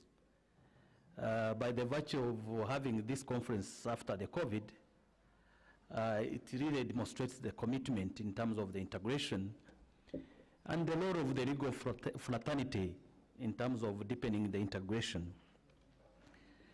Um, the, the member of parliament who have, um, uh, who have just uh, uh, delivered her remarks, um, uh, she ended her remarks with uh, good news. But myself, uh, I want to start with good news. Uh, with good news uh, based on the facts. Uh, again, yesterday I was uh, in, in Kenya, I was meeting the, the new member of EALA and the Minister for EAC Affairs. When we were discussing about common market protocol, and I've been pushing for the movement of professional services. And I was made to understand that economists were not professionals. we, we, are, we, we are included in under the other, other uh, services. The lawyers, the doctors, the architects, they are the one considered under the professional services. So I think um, um, it speaks loud why we have this uh, event, and the Lord you need to pray uh, as uh, the, uh, the legal professionals in terms of deepening the integration agenda. So I said I'm, I'm going to uh, give my remarks, I have 10 minutes uh, to provide good news, but also highlight some of the challenges of the integration. As I mentioned in a, when I was asking the, the previous presenter, the treaty is very clear. People-centered integration and market-driven integration. As EABC, we are the voice of the private sector. We speak on behalf of the private sector. Uh, we address and take a keen look into how integration is market-driven. So when we talk about market-driven, we're talking about prosperity, growing prosperity in our region. And again, before COVID, the fastest, growing economies in the world were coming from EAC. Who would guess the three from EAC before COVID 2019? These are numbers, statistics you can read World Bank, uh, African Development Bank. Rwanda was number one, uh, followed by United Republic of Tanzania, uh, then Kenya. Then when COVID hit this region, around Mar March 2020, the World Bank uh, uh, published a report that uh, the Africa is going to slide into a recession after 25 years. Do you know the region that did not slide into recession? All other regions, RECs that are recognized, there are eight RECs recognized by African Union. The only region that did not slide into recession was East Africa. And there are fundamental principles that why EAC, again read the report by African Development Bank, 2021. What was the magic bullet by EAC not sliding into recession? There were three important factors why EAC did not slide into recession. One, our close trade ties. We were more integrated. And that speaks to political goodwill. Our leaders were committed. Were leaders, despite all the differences you see, they, they could hold monthly meeting to allow goods, essential goods, to move across borders. Our borders were not closed. They were closed for people, but for goods were moving. Essential goods were moving. So we were able to save lives and livelihood of our people. I think we need to applaud our heads of state. The second important factor was infrastructure investment. Infrastructure is essential for the growth, for the prosperity of our region. Um, from Kenya, if you can see the, the quality of infrastructure, you are here in the United Republic of Tanzania, uh, you go to Rwanda, I'm from Burundi, all our heads of state are investing in infrastructure public infrastructures, schools, health facilities. That was uh, number two. Number three was our, the agriculture. The agriculture was one of our savior, one of the sector that saved us. We were able to feed our citizens.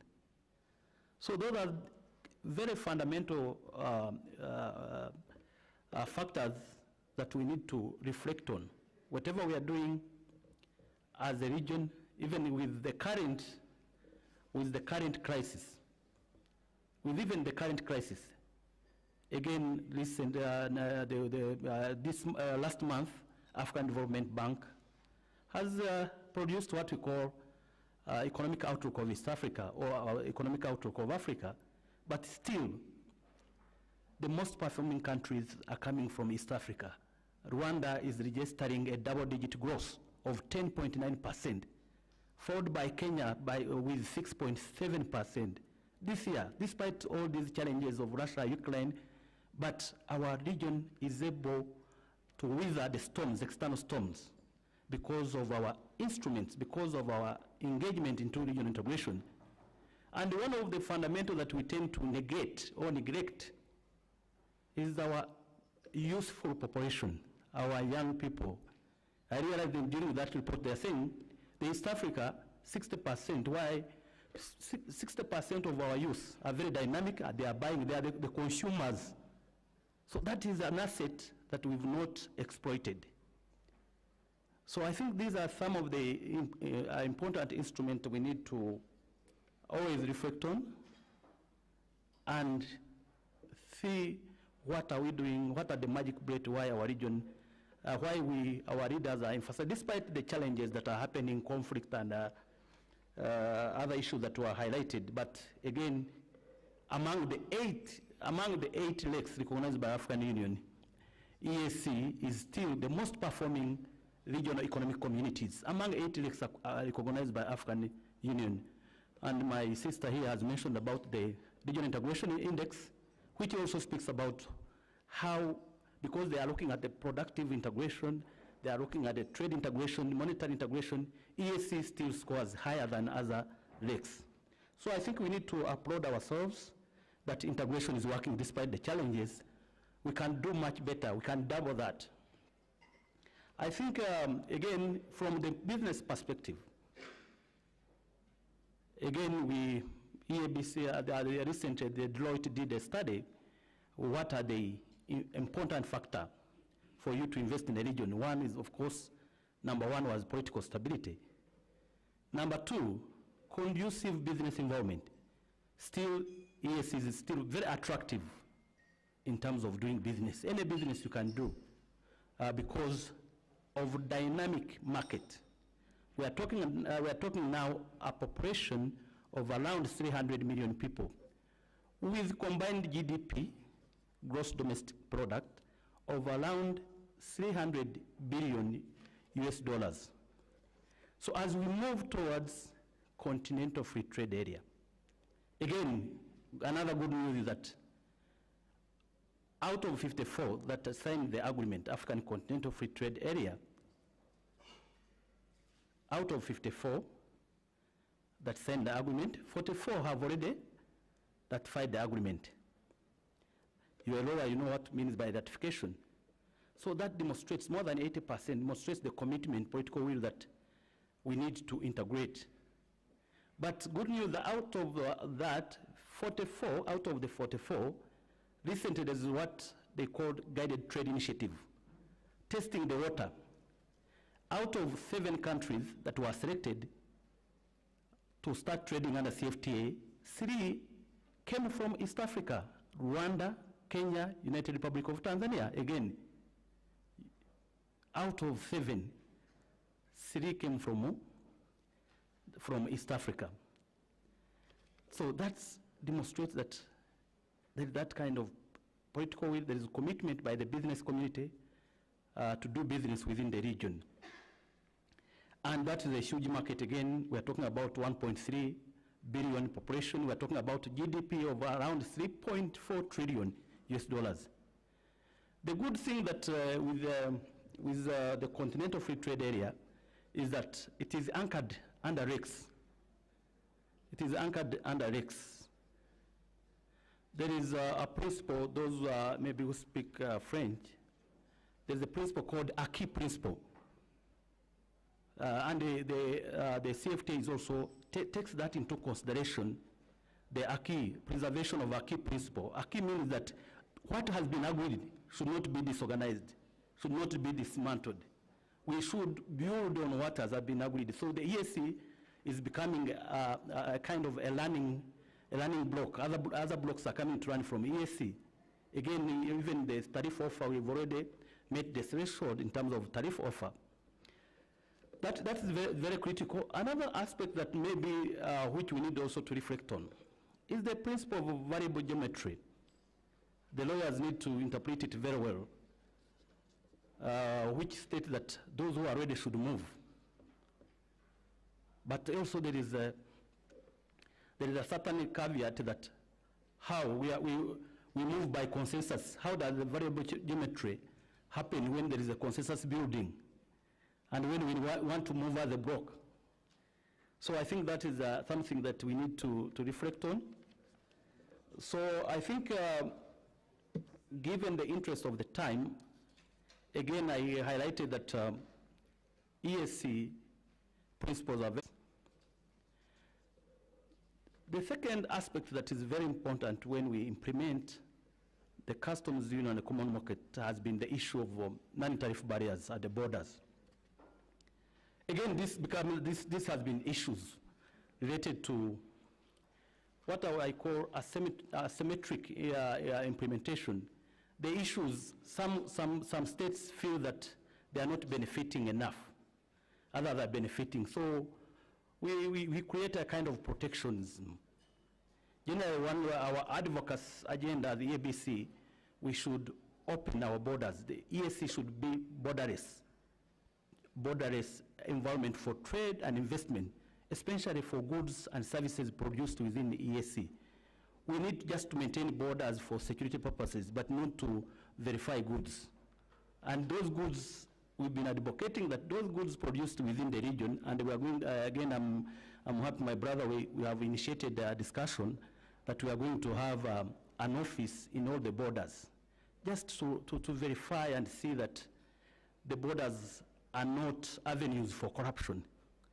Because once goods are cleared under single custom, they should enjoy free circulation, they should move. So now borders have become a stumbling block, especially for goods produced within the region. Why should you uh, uh, stop products which are produced in the region once they meet the rules of origin? Because we are under single customs territory. So those are areas, and um, the previous uh, presenter mentioned about a number of NTBs roadblocks. Even here, where we are, we used to have uh, from uh, Dar es Salaam to uh, Rusumo, we used to have more than 20 roadblocks. But again, I need to applaud uh, Her Excellency the President. Currently, I was reliably informed there are only three roadblocks from Dar es Salaam to Kigali. Uh, to, to. So that means that this integration is, uh, NTBs are being addressed, they are being removed. Though even those roadblocks are for security purposes, they are not to verify goods because it is not a lot of police officer to verify goods. It is not his mandate. He need to allow the truck to move. I, so issues that um, I highlighted also relates to common market. The legal compliance. I remember when I used to work with uh, uh, trademark in Rwanda, and we, we, we had what we call uh, legal compliance, aligning the, again, you, you, you, you hear that, uh, I think it is not a, a challenge. Language should be one of the tools we need to use. But uh, we had issues related to uh, those who are speaking French, uh, the, the French law vis-à-vis uh, the, the, the British laws. But that align- alignment, I think, has been done in terms of what they call the legal compliance audit. But the implementation has been one of the challenges. The legal, uh, I think the legal instruments are in place, the alignment, harmonization, they are all, they, are, they have been done, but the implementation, and I think that is the question in terms of enforcement, in terms of implementing those laws. We used to have a common market scorecard, again, funded by, by, uh, by World Bank, and it was a very good, excellent tool. And I want to encourage uh, my brother from East African Law Society, and I know uh, Uganda Law Society had initiated it to develop that tool to look at the, the gaps in our legal systems. Because one of the challenges, to, to be sincere to you, the business community are facing is what we call cabotage. Those from French-speaking countries, you know the word cabotage, meaning that a Ugandan, uh, Rwandan registered truck is not allowed to pick a cargo in Tanzania. Eh? So the, why? We should, we should move from saying this is a Rwandan track, this is a Ugandan track. We should talk about it is an East African track. hmm? The same again with legal professionals, and I know it is happening that You cannot practice eh, in Kenya or you cannot practice in, a, in the United Republic of Tanzania when you are from Rwanda. So we need to, to resolve those barriers because they are impeding the growth of our intra-regional trade. They are not generating prosperity, they are generating poverty among our population. And I think these are the things we need to discuss because those are some of the legal issues. We've been at the EABC advocating for open skies. It is really challenging to see that a ticket was coming from uh, Bujumbura to Arusha, it cost 1,000 US dollars. While from Bu- Bujumbura to Dubai is 500 dollars. Eh? And, and, our, and, and our heads of state have invested in uh, different airlines. We have RwandAir, we have um, Uganda Air, we have Tanzania Air. It is not because we don't have those infrastructure, we don't have those airlines, but because of what we call cabotage. eh? We treat our own airlines as foreign airlines. You know, we give more favorable treatment to like uh, Emirates or Qatar than we give to our own airlines. And I think this is what the legal pro, uh, professionals should be advocating for. The charges, the fees that we, every year we are losing $200 million because of those rules, because uh, East Africa want to move by air. We want to move by air. We are, uh, we, we, we are modernizing. People want to move by air. But the cost of moving from one capital to another is exorbitantly very high because of the cabotage, because of the regulations, because of fees and charges we impose on our own airlines. We treat our own, we don't, we treat our own airlines as foreign airlines. I think these are the things that we need to, uh, we need to uh, uh, reflect on. So as I, again, move into conclusion, again, to- I want to uh, appreciate, I want to really appreciate the, uh, the invitation by ABC, and we, we, we, we, we are very committed to continue to work with you. In terms of uh, addressing non-tariff barriers, uh, the issues of, of course, we, related to common currency, we need to also resolve that. We need to ensure compliance and uh, we ensure that uh, our rules and regulations serve the East African citizens. So the role, of- the role of lawyers is therefore to fully implement the integration agenda, interpret the, the treaty and the, its, its protocol as well as annexes, and guide, and guide the business, guide the citizens in terms of what the, the treaty talks about. With those few remarks, I want to thank you and appreciate you, and I wish you a good day. Thank you. Thank you. Thank you, Dr. Kalisa, for sharing with us what the East African Business Council thinks. I think you have highlighted the successes and you've also highlighted the issues that we need to pay attention to. Um, I think among the issues you have highlighted is the issue of the non-tariff barriers at the borders. And I think before you had hi- highlighted the issue of the Non-Tariff Barriers Act, sorry, bill, that is now pending six years. Um, so those are things that we need to look at as lawyers. The issue of legal compliance, uh, open skies, um, open skies, which is very key in terms of enabling us liberalize the airspace. And you've warned us of, of, of cabotage. So thank you so much for that presentation. We'll now move to Honorable Dr. Kalu Kalumia, who is um, one of Uganda's most senior and highly educated advocates. He enrolled as an advocate of the High Court of Uganda in 1971 and has over 45, year, 45 years experience in legal, diplomacy, and related fields. He has lectured in law and politics at the, universities, at the universities of Makerere in Uganda, Nairobi in Kenya, and Harvard in the USA. He worked for the United Nations for 25 years in various senior postings in several parts of the world and holds the distinction of having negotiated and then established the first UN presence in South Africa during its transition period from minority rule under the system of apartheid to majority rule under full democracy. Um, Honorable Dr. Kalu Kalumia will discuss uh, the topic of, is it just a shaky union? What must we do to fully integrate as a region? Doctor, welcome.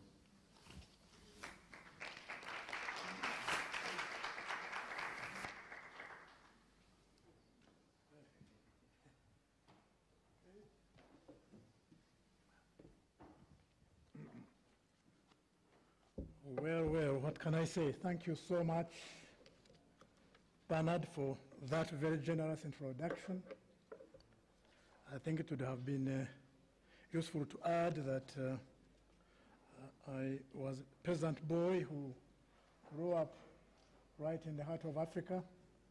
You can feel the heart pulsating under your feet with our active volcanoes, where by, nearby which these gorillas reside. So that is the, it's a, even Uganda standards, later on East African standards, it's the remotest corner of Uganda and maybe of East Africa, right where the three countries converge. Sorry, right where the three countries converge, uh, DRC, Rwanda, and Uganda. Uh, let me start off by just saying I'm not going to impose a long lecture, even a lecture to you, though, though I was one. I would prefer this, if I can, guide it to be an interactive discussion. Because the title I've been given, as you can see, is a rather provocative one. Uh, from what we have heard, previous speakers, definitely there must be divided opinion. So, but first and foremost, I come from Kampala Associated Advocates, one of the leading law firms in East Africa, committed to this society. To demonstrate that, I came heading a fairly large delegation. Where are the members of my delegation? Are they here? Can they stand up for recognition, so to say? I think we are supposed to be, we are supposed to be four in all. Uh, so this really shows the importance we attach to this, to this union. Uh, secondly, there are many K, I think there are some, I've seen some, KA alumni, K, uh, where are they? Claire, you, you are one, I can see you waving, but there must be, I thought Stephen was, oh yes, of course, madam. St- Stephen, Stephen Mwesi, where is he from the, was it, is he from NEC? Yes, but there are quite a number. K has a big club of uh, students, law students who came in to intern, who came in to do their clerkship, and who have spread their wings elsewhere. Uh, we are also supportive of uh, establishing strong law firms in our region. To that extent, I was telling Sarah, having given us a very provocative presentation yesterday, very good presentation, that KA helped in establishing the first law firm in South Sudan uh, upon its independence, if I may. The law firm of South, South Sudan Associated Advocates, SSAA, and its young lawyers were tutored at KAA. And we gave them a retired judge who was for a long time, we had two justices of the Supreme Court and, and the principal judge as consultants at KA for many years. So we deployed these in supporting some of these initiatives to strengthen regional law firms. So, thank you, thank you. So I think we are, to reassure Sarah again, uh, we are doing a good civic duty. Plus, we contribute to, I have a unit I supervise that writes reports for some of these major human rights organizations, World Justice Report. We contribute to it from Uganda, but we are probably not the only ones. And please don't say we are the source of the pessimism, yes, expressed yesterday. But we, are, we have a unit doing that. We, have a, we present reports to Trace International, which is an anti-bribery organization based in Washington, D.C., uh, corporate bribery mainly.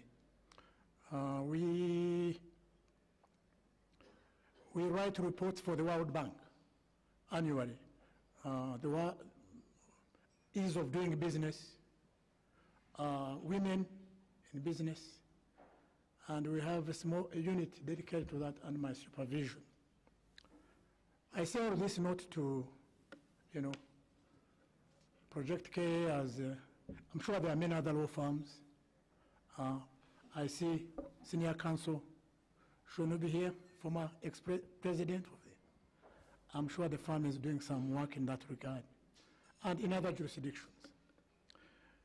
What I wanted to do, rather than read a presentation to you, is to make this as participatory as possible.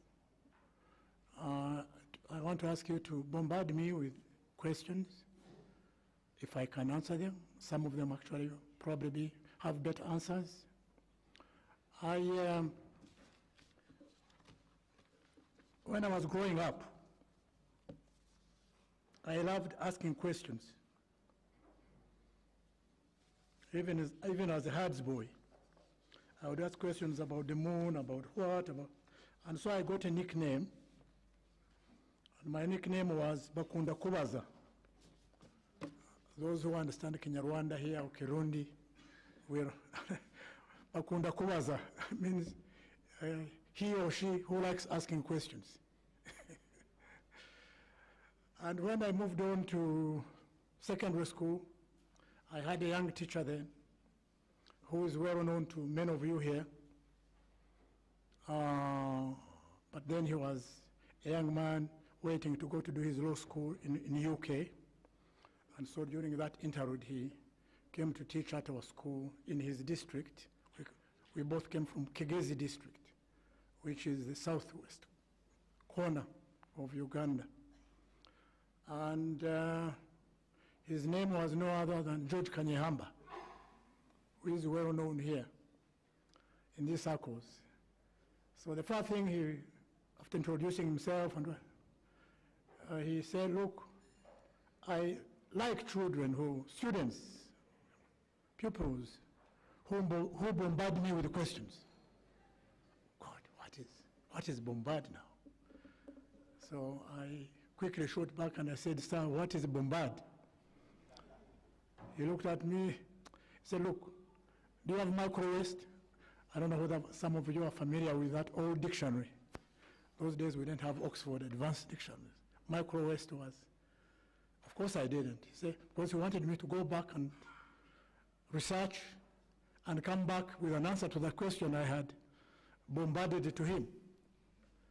And uh, needless to say, uh, I didn't get the I didn't get the answer until I had to look for a friend or a young man with a dictionary to to find a word in, in the dictionary. So I say all this because I think it's good to pose questions, discuss. A provocative title like this one is our Union weak. Is our Union, we call it shaky. What does that mean to us? Uh, it is probably, some would say, a rhetorical question. Uh, but certainly it provokes us to think into what the community, our this institution that we, we treasure and we labor for, for many years, by the way. Uh, the latest version of the community, certainly which we, our leaders formulated together, is, is much weaker than the original, the original, when we were growing up at the University of Dar es Salaam. And after, uh, that's when Arusha became the capital of East Africa. Uh, it was under the older community, which was more solid. Indeed, when I went for my university studies at Cambridge, and uh, wrote my paper was on a comparative analysis of both communities. The European Economic Community, it wasn't then a union, and ours at the time. And ours was much more, much greater, in, was much greater integration uh, at the time. Common harbor, common bodies functioning to community, located in different parts of, of, that, of that community. There were three members then at the time. So, the questions I would like to see center on um, what a Sheke Union. How many of us here, just put up your hands, how many of us think our community is shaky in the sense of being fragile, weak, uh, wobbly? Uh, why pose this question? Uh, is it in order? And of course, I also ask how many think it is a strong and dynamic union. Uh, like once our, was it our economics minister in Uganda who once said, our economy is zoom. So is the community taking off uh, shortly? Having listened to a very optimistic presentation here, I think it is on the runway, ready to kick off into the sky. Others might think, no, the engine is not strong enough. It, it will crash as soon as it takes off, or supposed to take off. And what will be the mark of that success? Is it a monetary union?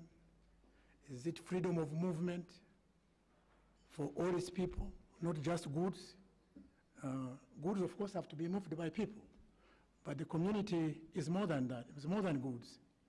How shall we get intermarried, as you, if people are not moving freely together? How shall we lawyers practice regional law, community law, if we have no freedom of movement, no freedom of establishment?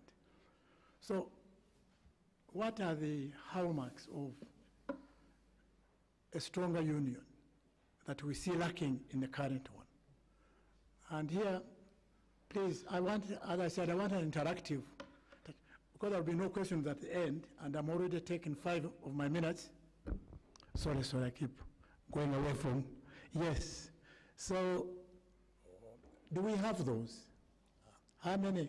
Let's put up our hands for a shaky union. Is it shaky? Claire thinks it's shaky. Sarah, these dynamic young Ugandan ladies think our community is shaky. uh, how many, it's strong. And on the way to, get, to getting strong, ever stronger. Are we, eh? On the way? Indeed. Huh? On the way to getting stronger, I think that would be the view of the great majority of people here. I see my time is up, but um, I have not answered fully. Well, the other question I wanted to ask very quickly is what, we, what would we like to see achieved? So by 2025, what, do we, what are the imperatives we need are so urgent now that we need to achieve by 2025? Maybe Sarah can, uh, please, I see young lady behind you, and Sarah, you can come in. Uh, I'm still,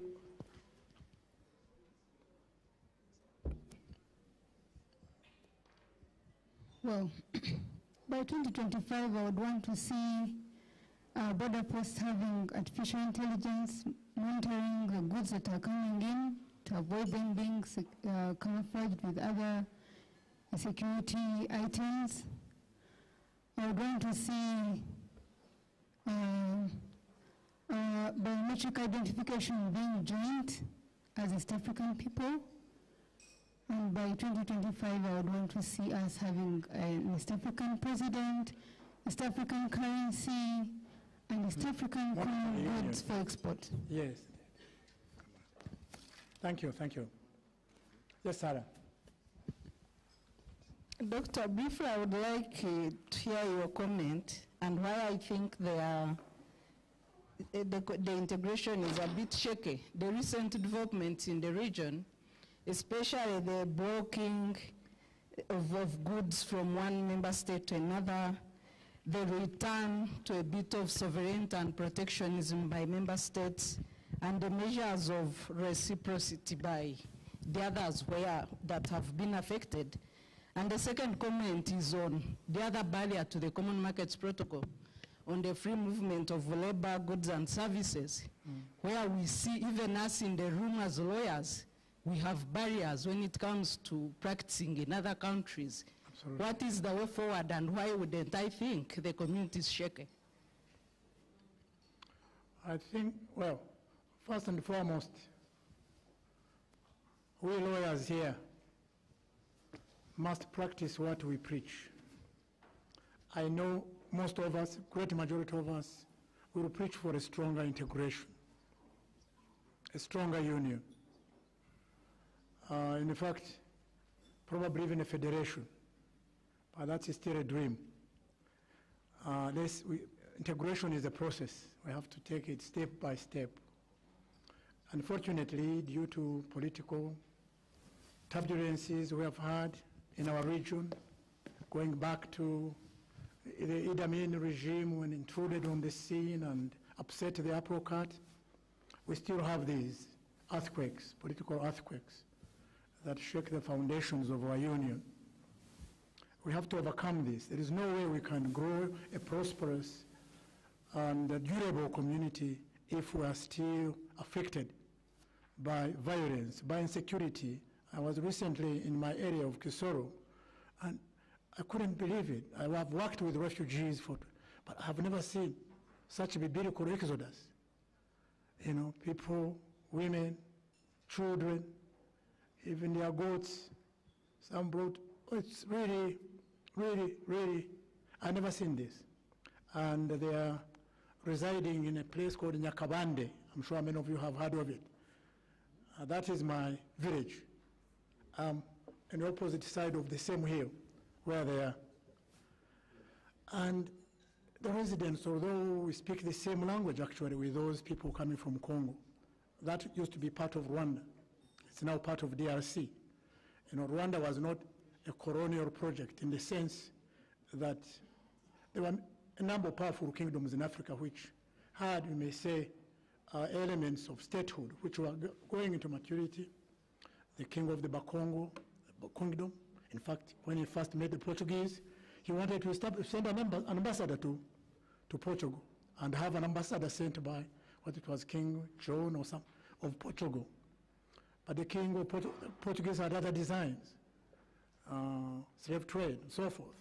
So we had those strong kingdoms in Africa, West Africa, Central Africa, uh, and it was a colonial project to, to dismember them, to break them apart into pieces. So Rwanda actually lost more territory to Congo than it actually retained, and more territory to what became Uganda. Sorry, yes.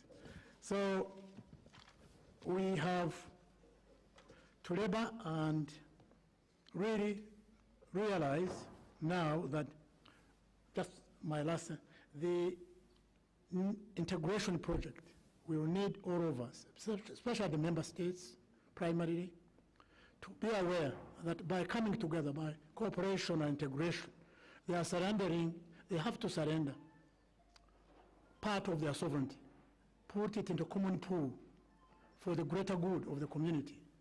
But if you insist on this sovereignty, sovereignty, each of us will end up the loser. So I do appeal to all of us as we go back and from various fields we are in, and the legal profession actually is everywhere, in every sector of the state. Private practitioners, civil servants, army officers, court marshals, and all that. What ethical standards are we taking there? What legal standards are we taking in those endeavors? Are they in conformity with aims and objectives of this noble body? Thank you so much. Pres- President Bernard, if I may, uh, let's ask questions at the end of the session. Otherwise, when we ask questions when our presenters are still here, we shall be eating out one hour time for our next speakers. Uh, President Bernard, over to you, to our next speaker, and if we can manage our time, let's try as much as we can. Thank you, thank you, Doctor, and we thank you for the thoughts that you have shared, the importance of member countries um, remembering that they have to surrender a certain part of their sovereignty if this has to work. I think that's, that's a very key message um, um, that is challenging the process. Please, we have the next speaker, Mr. Tom Onyango, senior partner at Triple OK Law. Um, and he's going to speak about the role of lawyers in building a unified community. I'll just simply say that uh, he heads the real estate and banking team at Triple OK Law LLP. He has a reputation for providing innovative, well-reasoned, and commercially sensitive advice to every client on his portfolio. Tom, we are now waiting for your innovativeness and this time commercially sensitive advice on what role we should play in building a unified community. Over to you. Thank you, President uh, Bernard Oundo, for the introduction. Um, my firm is Triple OK Law Advocates. I will not torture my fellow participants with asking my colleagues who are here to stand, but we are six uh, from the firm um, to represent the firm, and I hope that uh, we'll benefit from the discussion. I think in preparing for this, I just asked myself, what is it that as East Africa community we are looking to build? And um, I did some reading on uh, a gentleman called Simon Sinek. And one of his writings is uh, something on the reason why we do things. So he says, start with why. Why do we have the, why do we have the community? Why do we want it unified? And I just thought I would share with you a few facts and figures about the community because then you can sort of figure out where it sits in the spectrum of things. We are about 350 million people. and the total GDP, as has been reported earlier, 300 uh, billion dollars. There are seven countries. If I just give a quick rundown of the GDPs of the various countries, Tanzania is uh, sitting at $62 billion uh, projected at the end of this year. Rwanda, $11 billion. Uganda, $34 billion. Burundi, $2.7 billion. Congo, $51 billion. Uh, Kenya, uh, South Sudan, sorry, uh, $2 billion, and Kenya is sitting at 107 billion. When you add all those billions, it gives you just about 300 uh, billion dollars. This is what 350 million of us are able to generate in a year, because that's the GDP. Belgium has 11.8 million people. They generate 610 billion dollars. So we are 30 times more, but they generate twice as much as we do.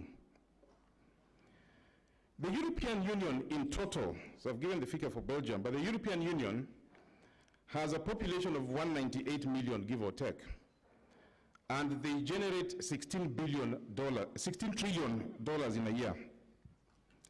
The United Arab Emirates, guess how many they are? They are only 10 million. So if you compare them to, to, to East Africa, to the, the, the member states of the community, we are 350 million, they're 10 million, but they generate roughly the same GDP as we do, which means if we are um, 30 times more with the same GDP, the per capita GDP is 30 times higher than us. I said all this because I think when you go back to the question of why, why East African community? Why lawyers? Why do we need to discuss this thing?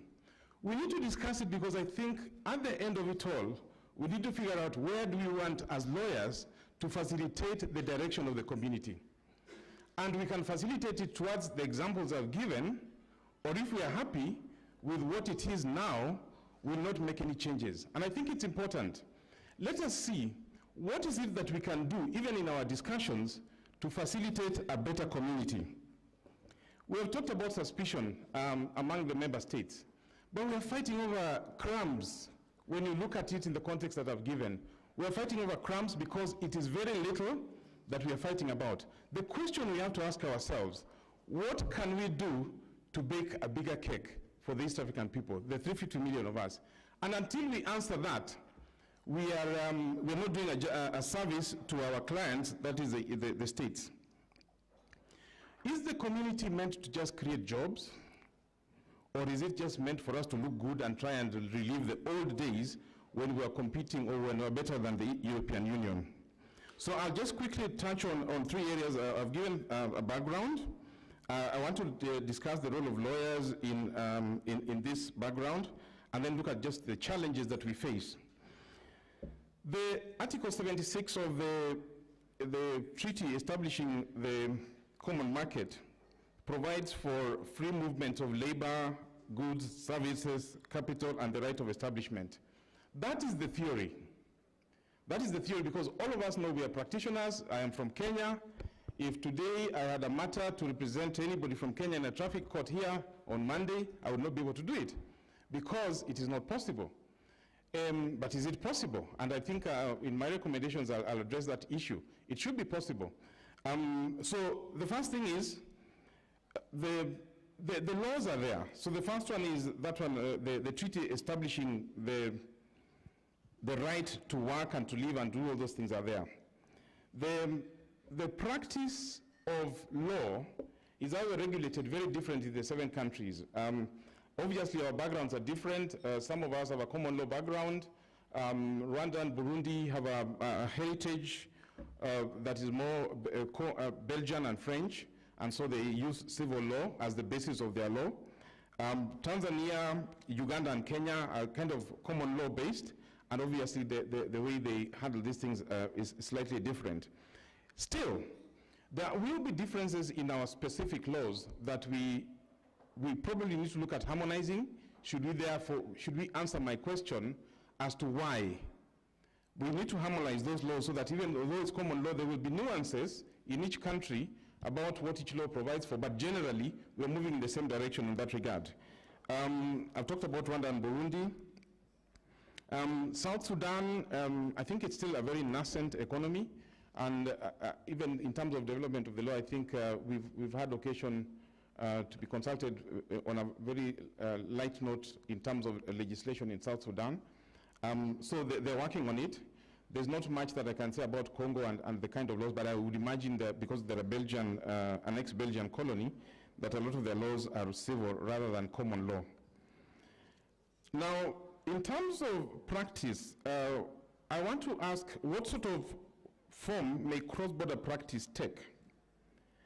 And uh, there are several uh, uh, uh points I want to raise there. There is temporary provision of legal uh, services across boundaries. So again, to give the example, that, to go back to the example that I gave, as a Kenyan, I could, could I be temporarily allowed to practice here, not on a permanent basis, but on a specific matter or a specific case, um, and that could be, you know, across board. So if I know the law sufficiently enough for a client in Rwanda to trust me better than a Rwandese lawyer, would I be allowed to represent that person?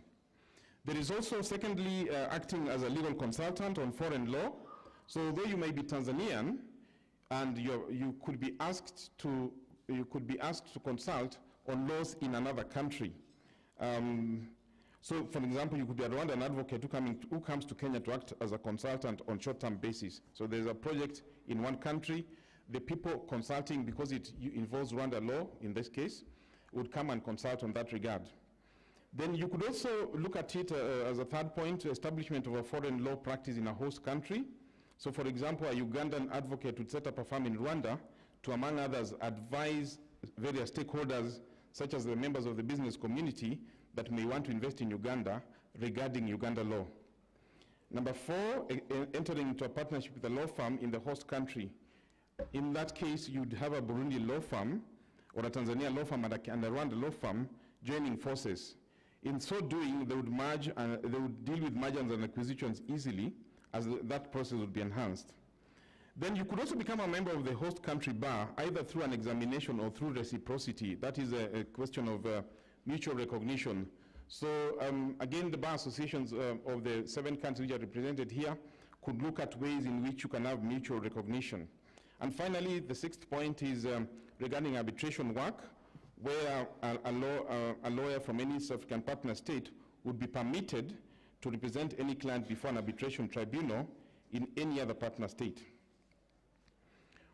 Secondly, I want to look at uh, what, lawyer, what role lawyers have played in East African community um, in terms of development of the law and the jurisprudence. We've had a number of cases that have been decided, and um, we had the, the judge president of the, the court here earlier on taking on an issue regarding Kenya's reference to the East African Court of Justice regarding the recently concluded elections. Obviously, um, they, there will be different ways of looking at this. I'm sure government will see it differently from uh, the private sector. But I think in those cases, in my views, whether they succeed or they fail, they set the law. Because until you test the law, you do not know. So we've got an East African Court of Justice.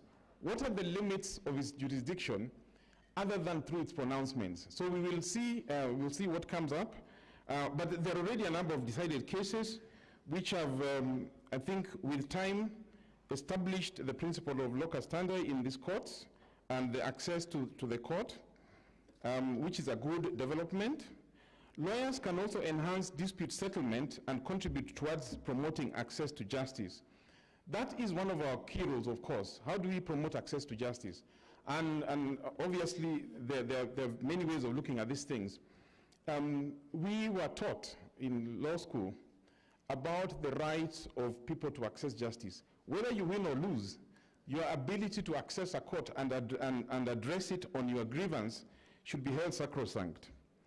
We also have a role, thirdly, to promote the founding principles of East African community, which aid in implementation. So the community has adopted fundamental and operational principles that govern the achievements of its objectives. Through litigation, it's only through litigation that the lawyers can contribute through growing uh, legal jurisprudence, um, in that in the community. And then to deepen the to deepen, um, we need to help in deepening the economic integration agenda in the community uh, by, by playing a key role and as a driver, because ag again, a lot of these things, we have to be, see ourselves as facilitators of the environment in which we operate. Because a lot of things that we do, be it how do you regulate, uh, how do you reg regulate commerce, how do you regulate transport, how do you regulate citizenship, how do you regulate, how deal with security or insecurity, then moving on, because uh, time is running, um, the challenges we see, there is inadequate um, harmonization of legal standards. Uh, i think I briefly mentioned that. The member states, um, in, in, spite of the protocol, the, the laws and regulations across the African, East African member states are not uniform.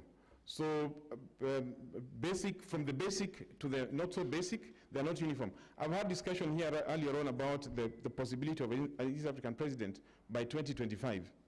My own view, you first have to have a constitution, isn't it? Because our constitutions are so different. What is permissible here in Tanzania is probably legal in another country. So we need to have that discussion, uh, first of all, and maybe go back to why. Why do you want to have an East African president? But those are things that we have to look at, look at and that will then lead to harmonization. Um, we've got varying legal systems. Uh, as I've talked about, we've got civil system, we've got uh, common law. So we need to look at that. How do we bring them together? We need to, uh, as lawyers now, some an, an in-house matter, look at the issue of reciprocity. We're not treating each other equally. So some people can practice in, in, in one country or across the region while others cannot. That principle of reciprocity is something that needs to be looked at. I think Rwanda is a bit ahead of the other countries in terms of, of uh, uh, promoting or allowing reciprocity as a way of doing business. We've got a language barrier.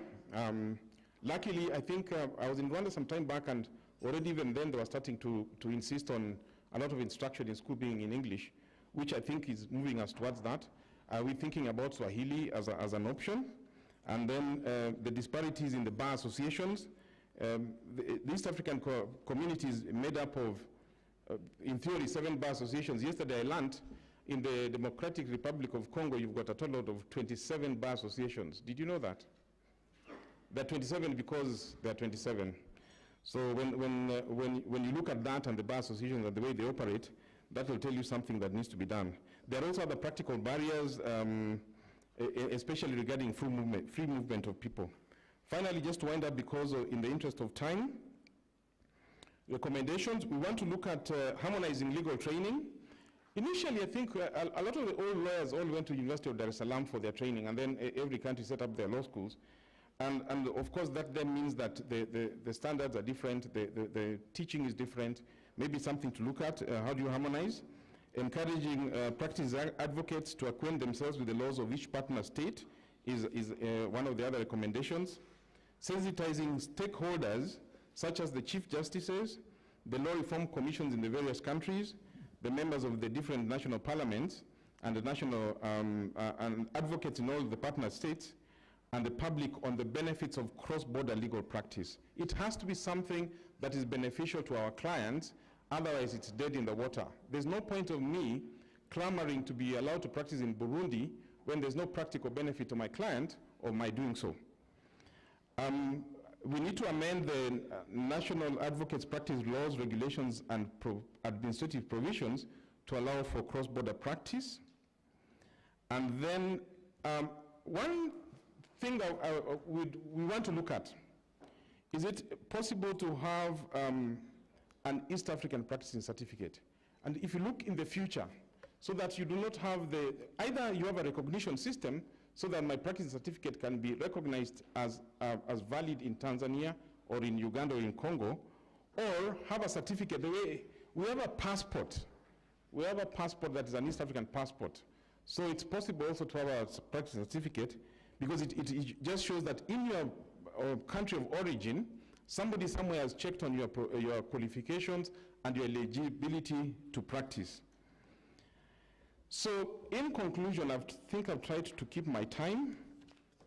As we deliberate on this, my fellow uh, professional colleagues, let us start with why. Thank you very much.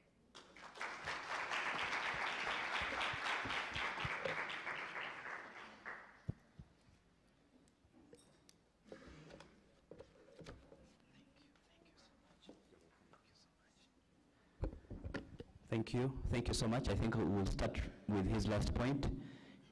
Is it possible for us to have an East African practicing certificate?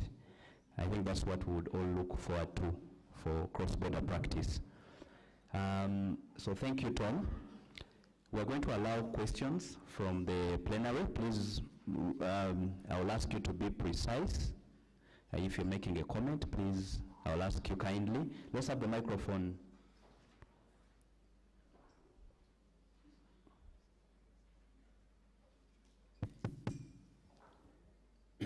Thank you.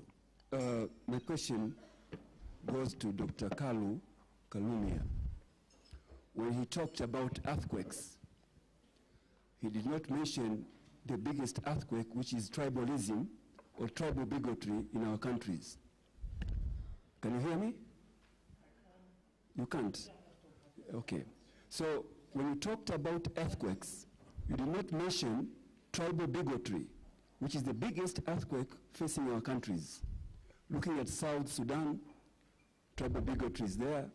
If you go to remember the, the, uh, what happened in Rwanda, it was a tribal bigotry.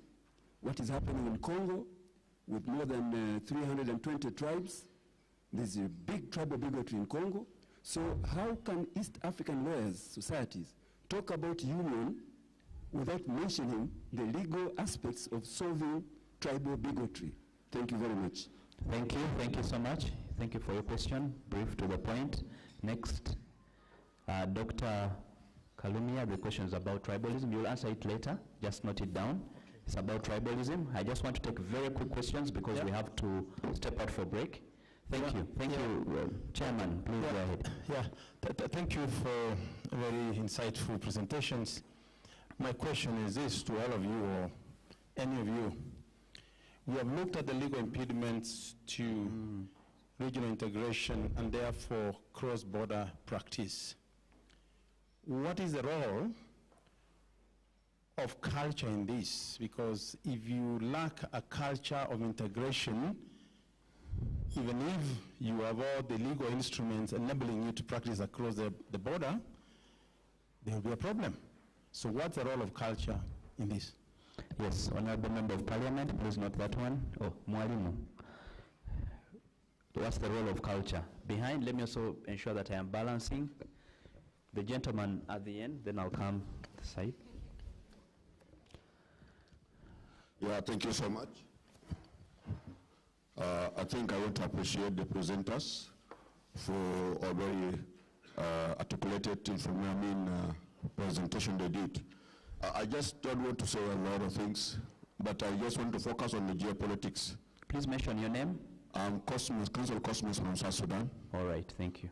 Uh, mine is just a comment and maybe just a question that I'm going to put. You, you know, one of the factors we talk about geopolitics of the countries, you know, like countries like South Sudan and Congo, we are the new countries who newly joined, joined East Africa.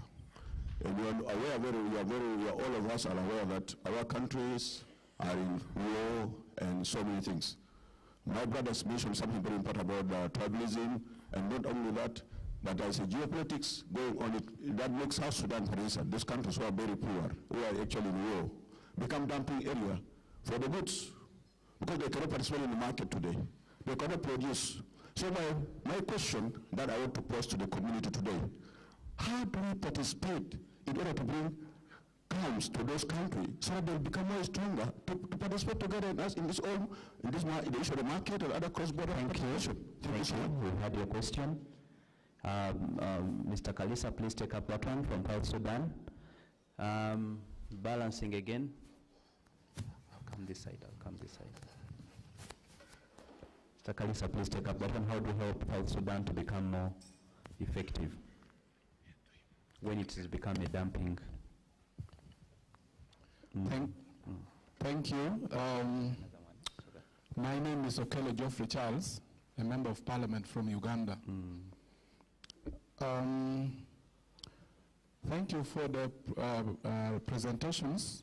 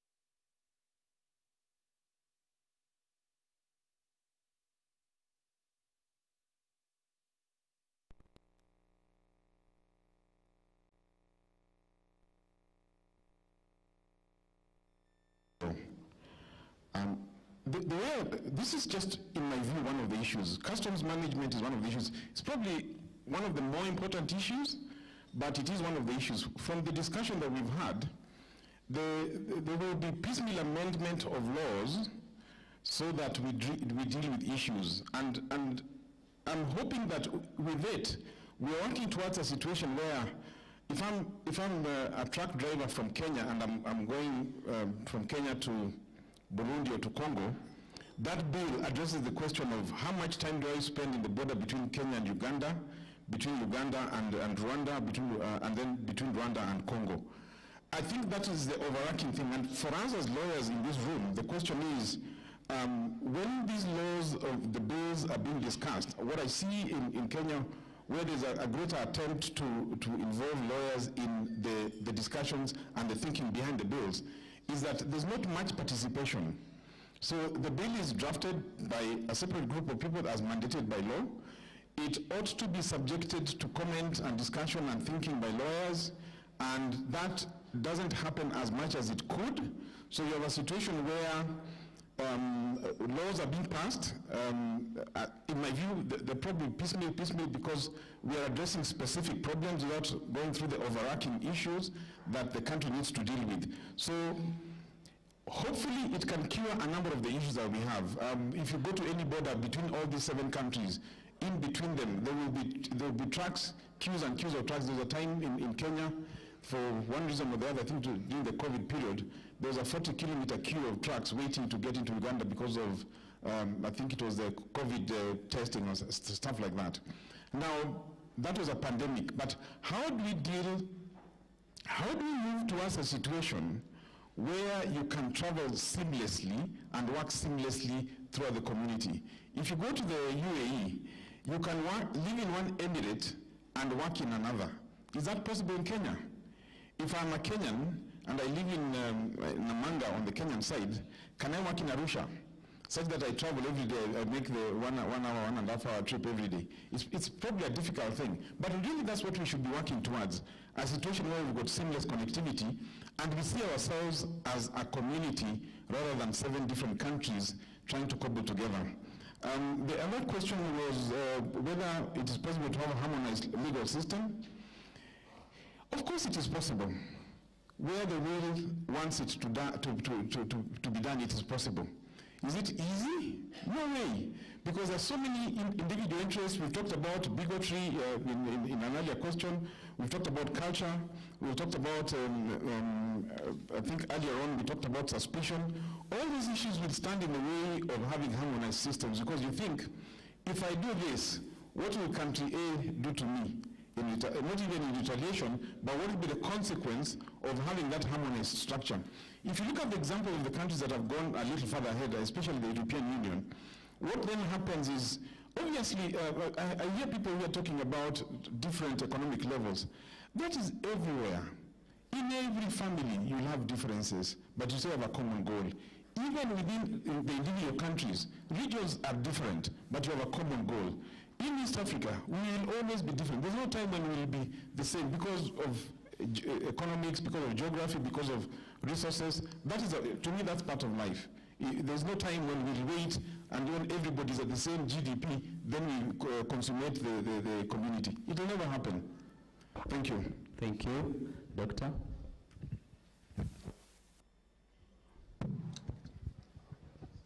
Thank you, thank you.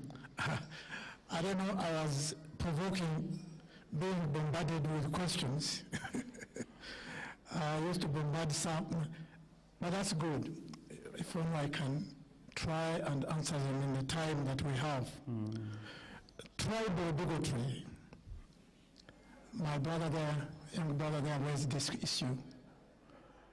I don't know whether really this is the principal cause just of the many conflicts that we see on our continent.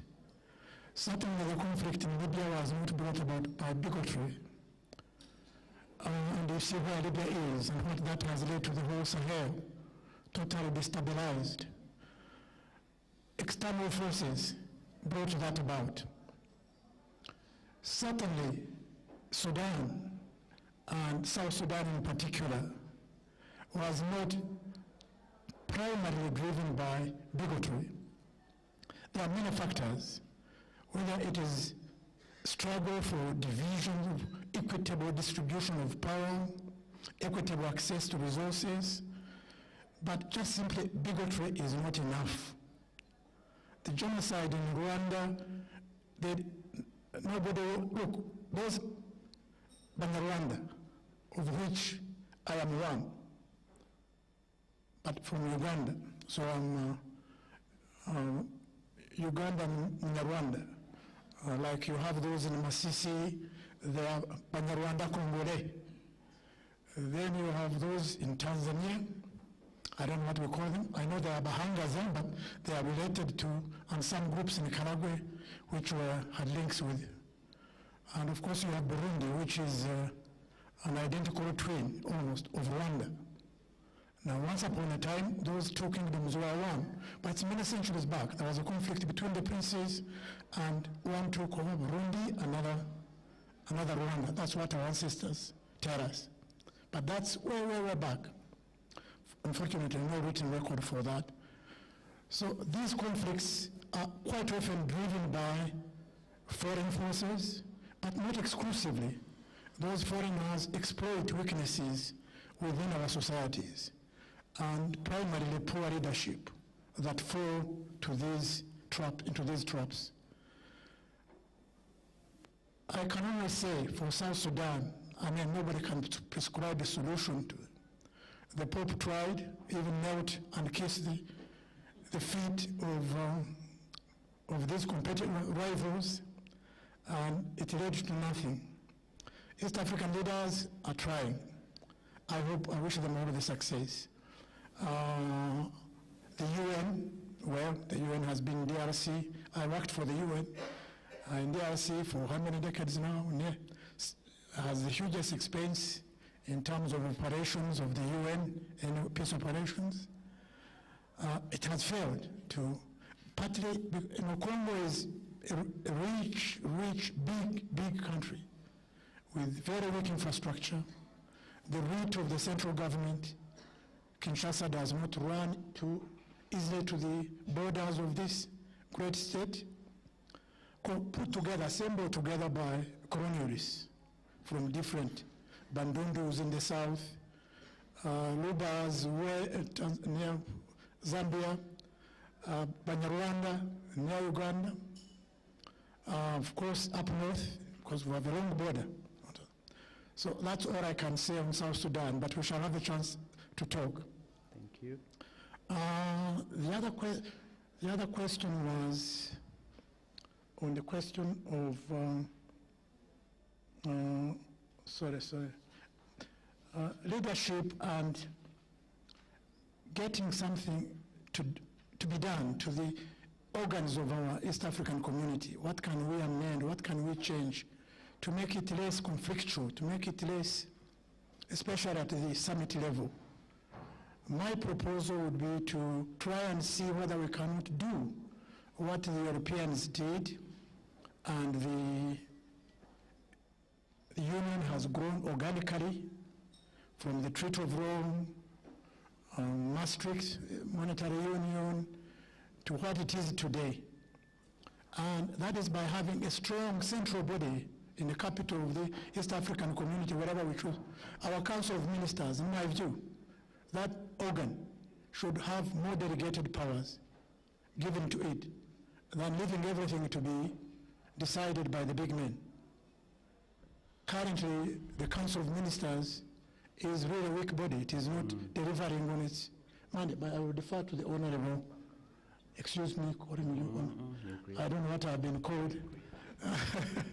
so that is, um, and I cannot answer each and every question. I think I will try to engage with. As for Mandela and having a dinner with him, well, I had a few dinners with him, mm. but more at his home or organized by the movement than at my home. But he certainly insisted on meeting my family, my children. I can share with you later some of the photographs. I invited me home to attend the wedding of his daughter Zinzi I was the only actually foreigner, contrary to the reception. The reception was in a Carlton Center where I attended diplomats and where, but they had an after dinner, uh, rather an after reception dinner, so I was privileged at least. So I got to know him well, thank God. And, but Mandela and a few others in Africa really showed the importance of leadership. It's essential ingredient in any project that we, and they shouldn't just be visionary leaders. A vision, vision, this vision thing, as someone called it, uh, but strategic in their thinking. The vision, yes, we all have visions, but how do we get translate those visions into action? so that, there is finally one subject I wanted just to scratch, if we open. And that is, uh, Honorable mentioned China, the increasing role, presence of China. Now, China has set up, I'm sure many of you are familiar with these acronyms, BRI, in the context of China. BRI, do you know BRI? Come on. Yeah. Eh, Belt, Belt Road Initiative. yeah. Then there's another acronym that we must be, we must get to be familiar with, read about it, understand it. That is CI, CICC. CICC. It's a quiz. It's related to BRI. That is, huh? Well, yeah. To be quick and brief, it is a new court they have established called China International, International, uh, China International Commercial Court. International Commercial Court. It was established in 2018. I pose this question, we discuss it at my law firm, we have Monday meetings where we discuss, and this lady was submitting an international arbitration and, and very good presentation, but she had completely ignored this and I flagged it, and she went did some research, even to me, which was very revealing. This B, B, um, CICC is going to have, well, has exclusive jurisdiction on, over disputes arising from BRI projects. When we have a dispute in Uganda over whatever airport or whatever this, it has to go to Beijing. It cannot be taken to arbitration locally or, or as we found of doing to our former colonial masters. No London business, no per diems in Paris. We have to go to Beijing. The language is in Chinese, official language, so we have to learn Mandarin. At least those of us who are dealing with this Belt and Road Initiative. Now that court has uh, has uh, five or so expert committees from different regions of the world where the uh, road in, uh, these BRI projects are being undertaken. Uh, the chairman of one of those committees on the expert committees on Africa is uh, founding partner, Bart Katureebe, who was later Chief Justice of Uganda. And there is a judge, a labor judge from Algeria.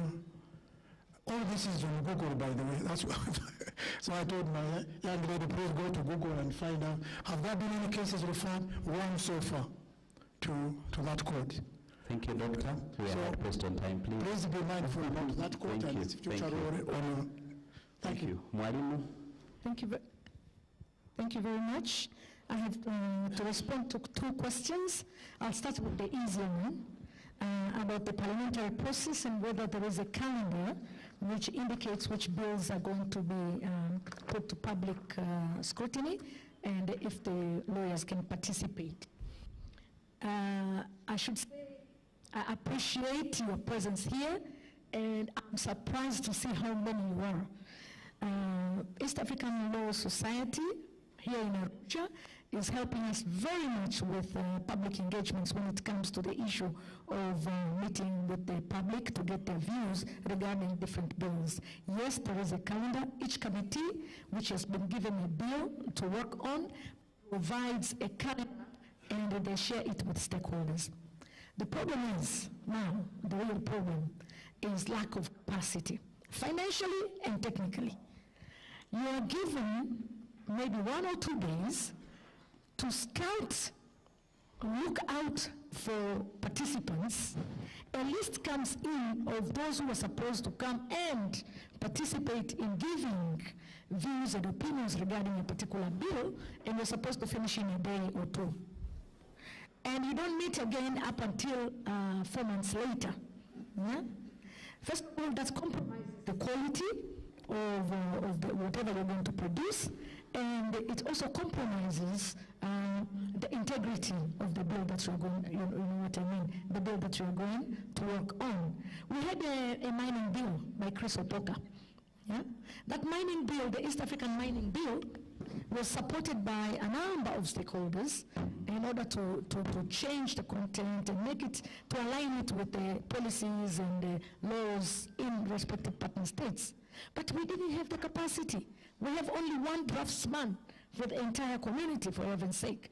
We have a few researchers who can work on research for a particular topic. So that is a bit scary, and I think we need to invest as East African community, and if we have the secretariat here, we need to invest more in people's capacities in the East African community and the secretariat, different departments, in order to come up with quality and workable, operationable uh, bills and, uh, and different uh, regulations. I think I've answered, and I think uh, maybe we request uh, East African Law Society here in Arusha to uh, engage more with us and with the parliament in order to disseminate information and to demand, I mean, we need to demand, I'm an activist a bit, to demand that uh, the East African community and East African uh, uh, Legislative Assembly publishes openly and timely all the bills that are going to subject to people's uh, to uh, collection of opinion. That Thank you, Mwalimu. Second one, I had a second question to respond to. It's about um, the issue of yes, we have legal impediments. I was I was not quite sure about that uh, regarding the cross-border practices. Where what is the role of culture in integration? It's a huge subject. All our borders. eh, are, are, are populated by people who relate to each other. eh? Their cultures are very similar. But then we have this East African culture, which is a habit, practice, and process. eh? Uh, after a long time, it becomes a culture. Now, we have cultures of organizations. Certain organizations have cultures that they're very rigid, they're closed, they don't want to share, and so on. But when it comes to people and their culture, and what they want to do on the ground. I think it is high time we learn and relearn what we've learned about uh, integration. Because I think very seriously that uh, once we close our boxes and we think that we can operate in a particular way, and we remain in those boxes, it's very uh, difficult to understand what is outside the box. That is regarding the culture. Last but not least, regarding the custom union, is it custom union or about the trade and remedies co- uh, committee? Uh, we have been fighting to get uh, amendments so that the Trade and Remedies Committee is being uh, established.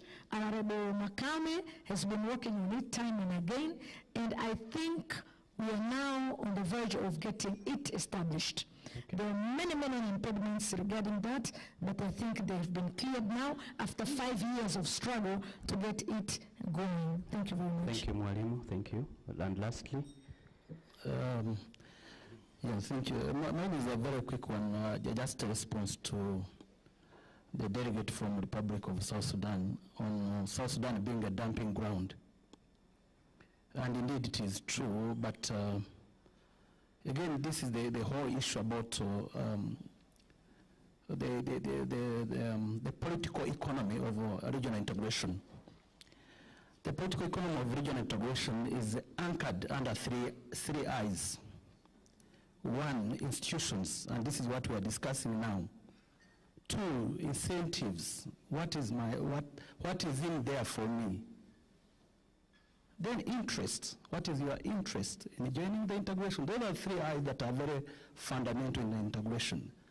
So uh, it happened that when, uh, when it, uh, it happened that I was part of the, the team, I was working with Trademark in South Africa, posted in South Sudan, and I supported South Sudan in terms of building the institutions, especially the Bureau of Standards, to have the right equipment, to, to have the right uh, staff in terms of uh, detecting, testing for the product that are coming into that country. And I think Professor mentioned that I was there during even the, the, the war 2016. I was caught in crossfire. It happened in Juba during a broad day time. So these institutions that we are trying to build were disrupted by the war.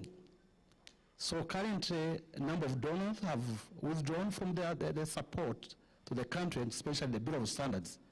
But uh, EAC Secretariat is making an effort, again, to, to strengthen, to build these uh, trade, uh, trade-related institutions, as- including the Bureau of Standards, so that they have the, the right capacity, the right staff, the right equip, equipment in terms of testing the product that are entering that country. So I think that is, uh, I think that is what we are doing, and uh, I've been even engaging myself, uh, despite that I left uh, South Sudan, I've been supporting the Bureau of Standards in terms of ensuring that they get the right support from the EAC Secretariat, from the South African Business Council, that we continue to build their capacity to be able to detect, to be able to test, to be able to ensure that the goods coming to that country meet the right standards. I think that is uh, the response from my side. But uh, lastly, again, as uh, I mentioned, I'm very optimistic about the integration, about the EAC integration. Despite all these challenges, but EAC is the most performing regional economic community. Thank you very much. Thank you, thank you, thank you so much, our panelists.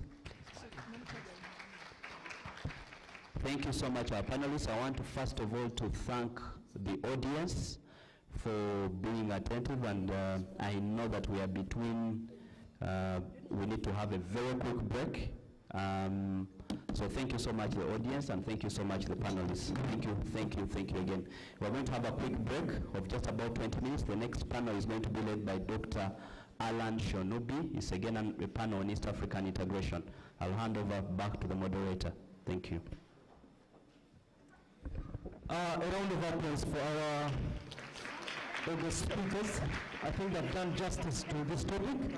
Friends, we overshot a bit. I want to apologize. But we still have a very serious panel lined for us.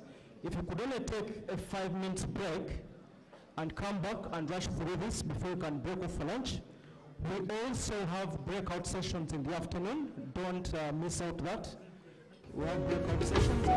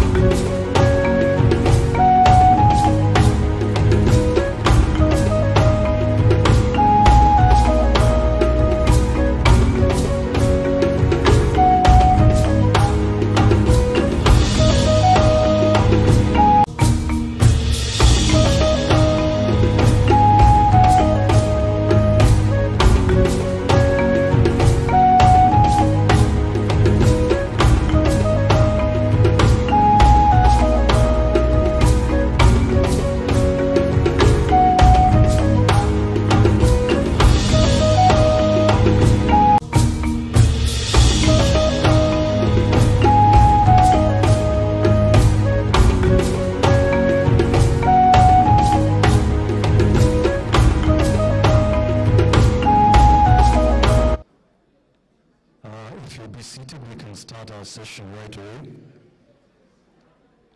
It will be a brief and very fast session because a lot of uh, has already been covered. Um, my name is Dr. Alan Shonubi, Senior Counsel from uh, Uganda, from the law firm of uh, Shonubi Musoke and Company. I think we have eight lawyers here today from, from our firm, and um, there's someone within the audience. Without much ado, um, our topic is regional integration. And what we're going to talk about is the expansion of the East African community, which you all know. Uh, it has now been expanded from the three original East African countries of uh, Kenya, Uganda, and Tanzania. And we are going to now, of course, we now have Rwanda on board, Burundi on board, the Democratic Republic of the Congo on board, and South Sudan on board. So one of the things we're going to look at is what are the implications? We haven't yet um, consolidated the community as we envisaged it, but we're already expanding. Is that a good thing? Is that a bad thing? How are we going to look at that? Um, as you know, the current European Economic Community was modeled on our former East African community. And um, that is also a good thing. So what implications does all that have for you? And your panel today, um, I'll start from the left. Sorry, that, that's your left, my right. Uh, Dr. Joseph Yav. Uh, Dr. Joseph Yav is the founding partner of Yav Associates from the Democratic Republic of Congo, and he will probably be telling us about their experience, which of the many law societies they belong to, and what changes they have both as lawyers and a, a country um, moving into the East African community. Um, I have Mr. Wilbert Kapinga, who's also here. Uh, is a former president of the East Africa Law Society and now practices with uh, and Company.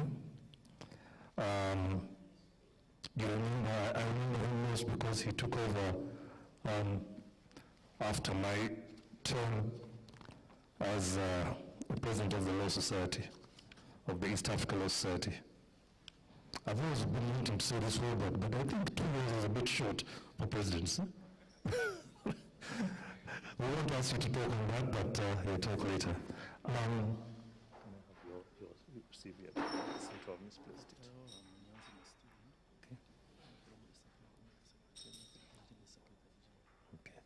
Uh, we have uh, Stephen Niyonzima, who is an advocate, and he's representing the Secretary General of the East African Community. Uh, fortunately, he's also an advocate, but he'll also tell us a bit about the challenges um, that they are facing. Um, we have Ryan Kitkat, am I pronouncing it right? Very good. Ryan Kitkat, who is a partner corporate, uh, mergers and acquisitions, I believe, in uh. And um, he's also here going to give us his views. So we'll start briefly with the issue of um, the expansion of the East African community and its implications, and how are we dealing with um, dispute resolutions. And I think uh, uh, Mr. Niyonzima will let you start because this is something I think, these are areas I think you are well versed with. Thank you very much. You can stand there, yes?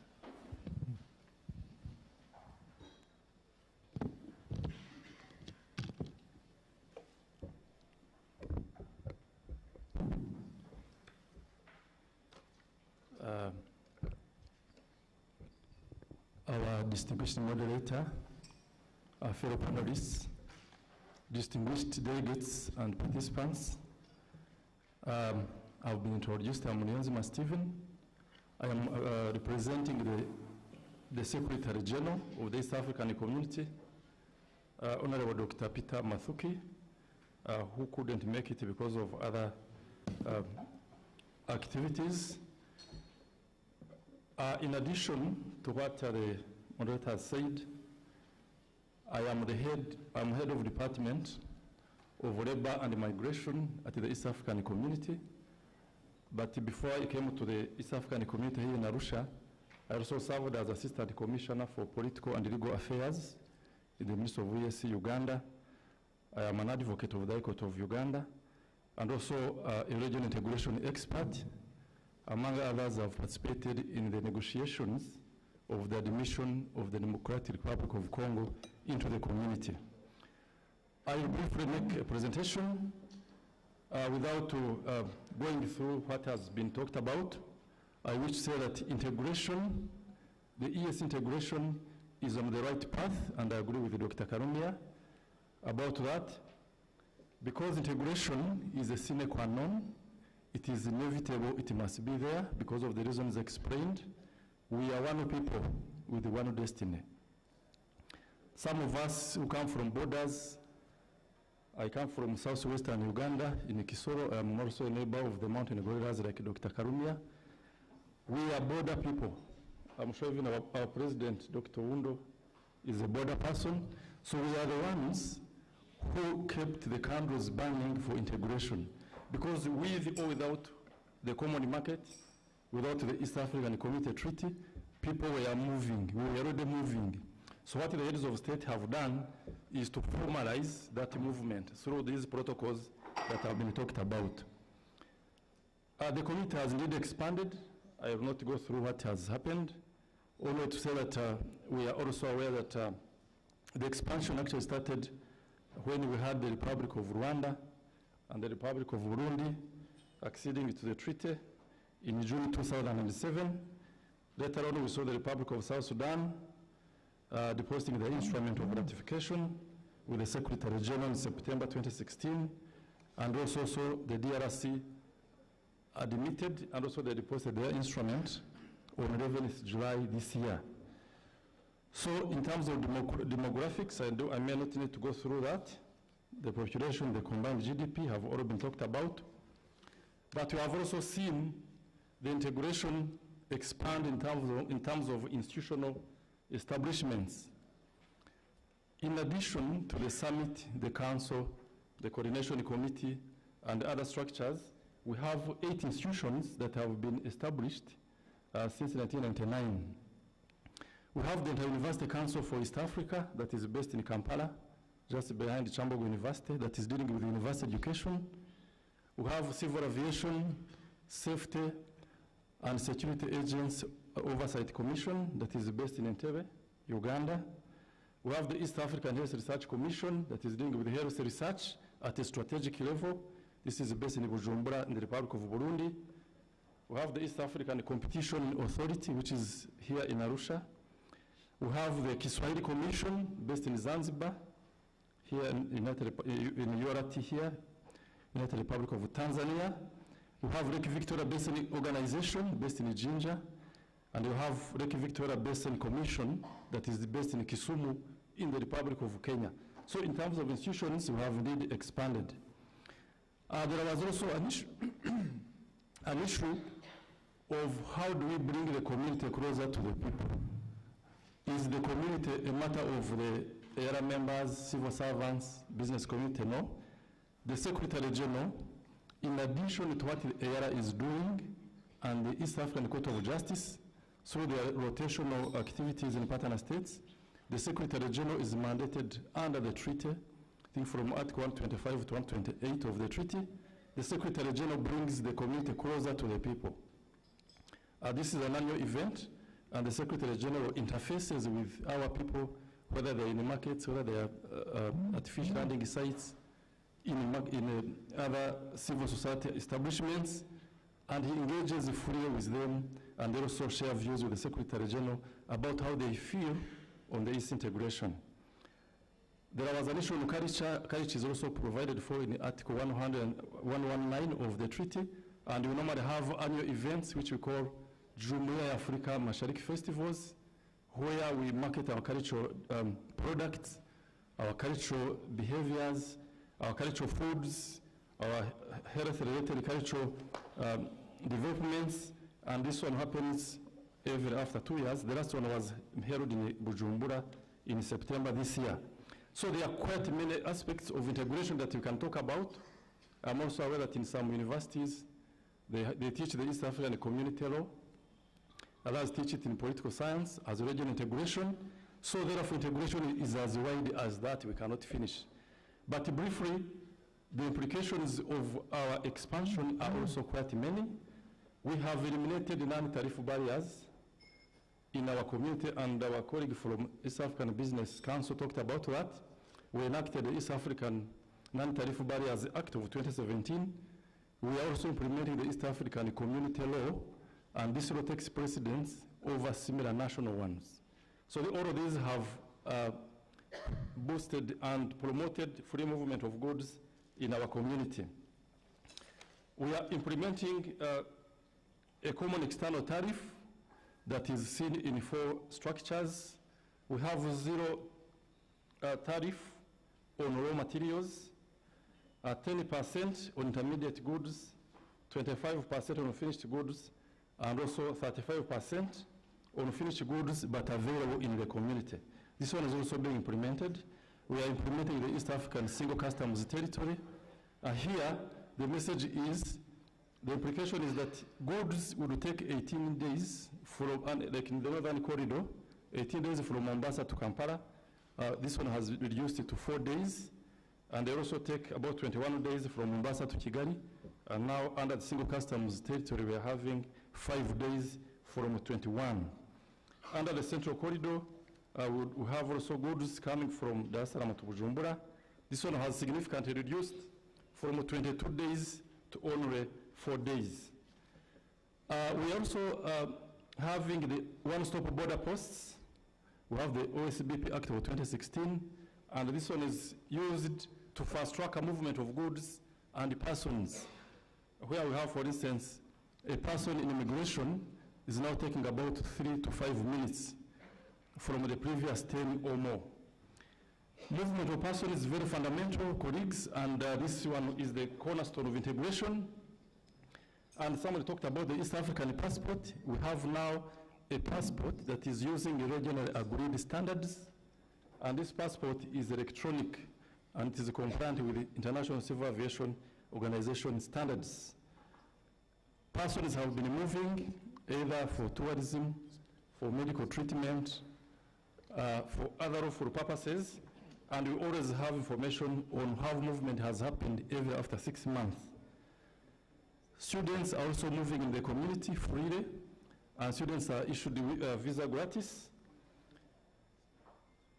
We also abolished the visa. There's no need for a person to pay visa when you're coming from Kenya to Uganda like that.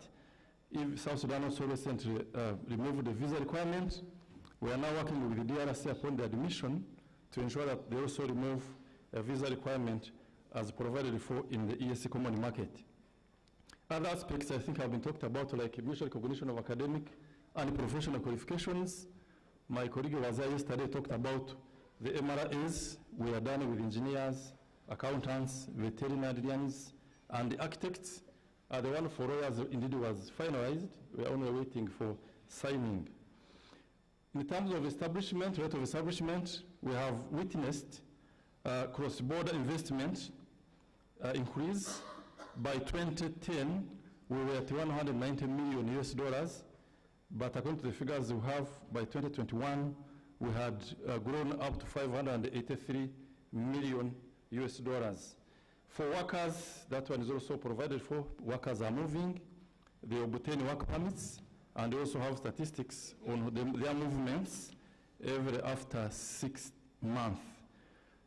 Uh, we talked about also the monetary union as the third stage, uh, where uh, the East African Monetary Institute Act was passed and it is being implemented in preparation for single currency by 2024.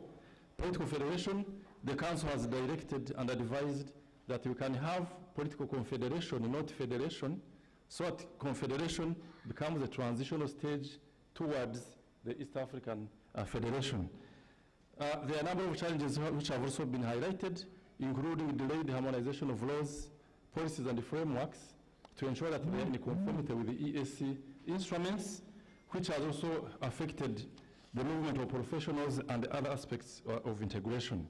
Other aspects to do with awareness and publicity, it's also a challenge, but we're making sure that we involve all stakeholders in integration so that everybody is aware about the ES integration, and therefore uh, it becomes very easy for participating and benefiting from the EAC. Uh, Honorable Moderator, allow me to end my presentation. The rest of the issues probably will come up during the Q&A session. Thank you for listening. Thank you, uh, Stephen Niyonzima. Um, we talked about one people uh, that were already existing, especially for people across the border.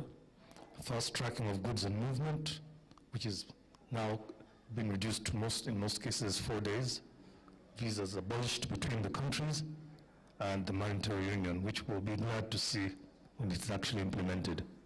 So I won't take much more of your time. We have a problem of always, when you're a speaker before lunch, you always have that uh, problem when you're standing between people and their lunch. So without further ado, I'll ask uh, Dr. Wilbert Kapinga, former president of the US, to come up and um, give us his view on the topic.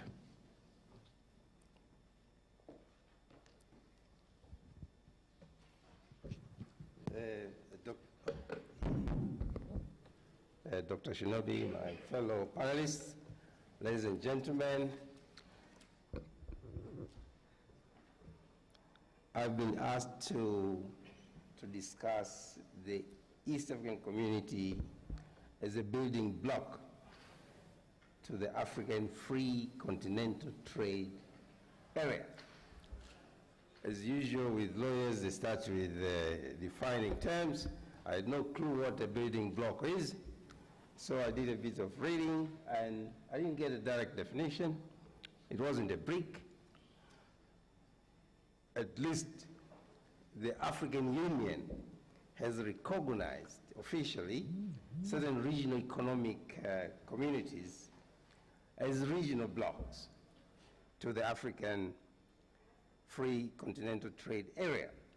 There are quite a few of them, and they're significant in, uh, in the way we understand how trade is going to evolve under this agreement, the, the AFCTA agreement.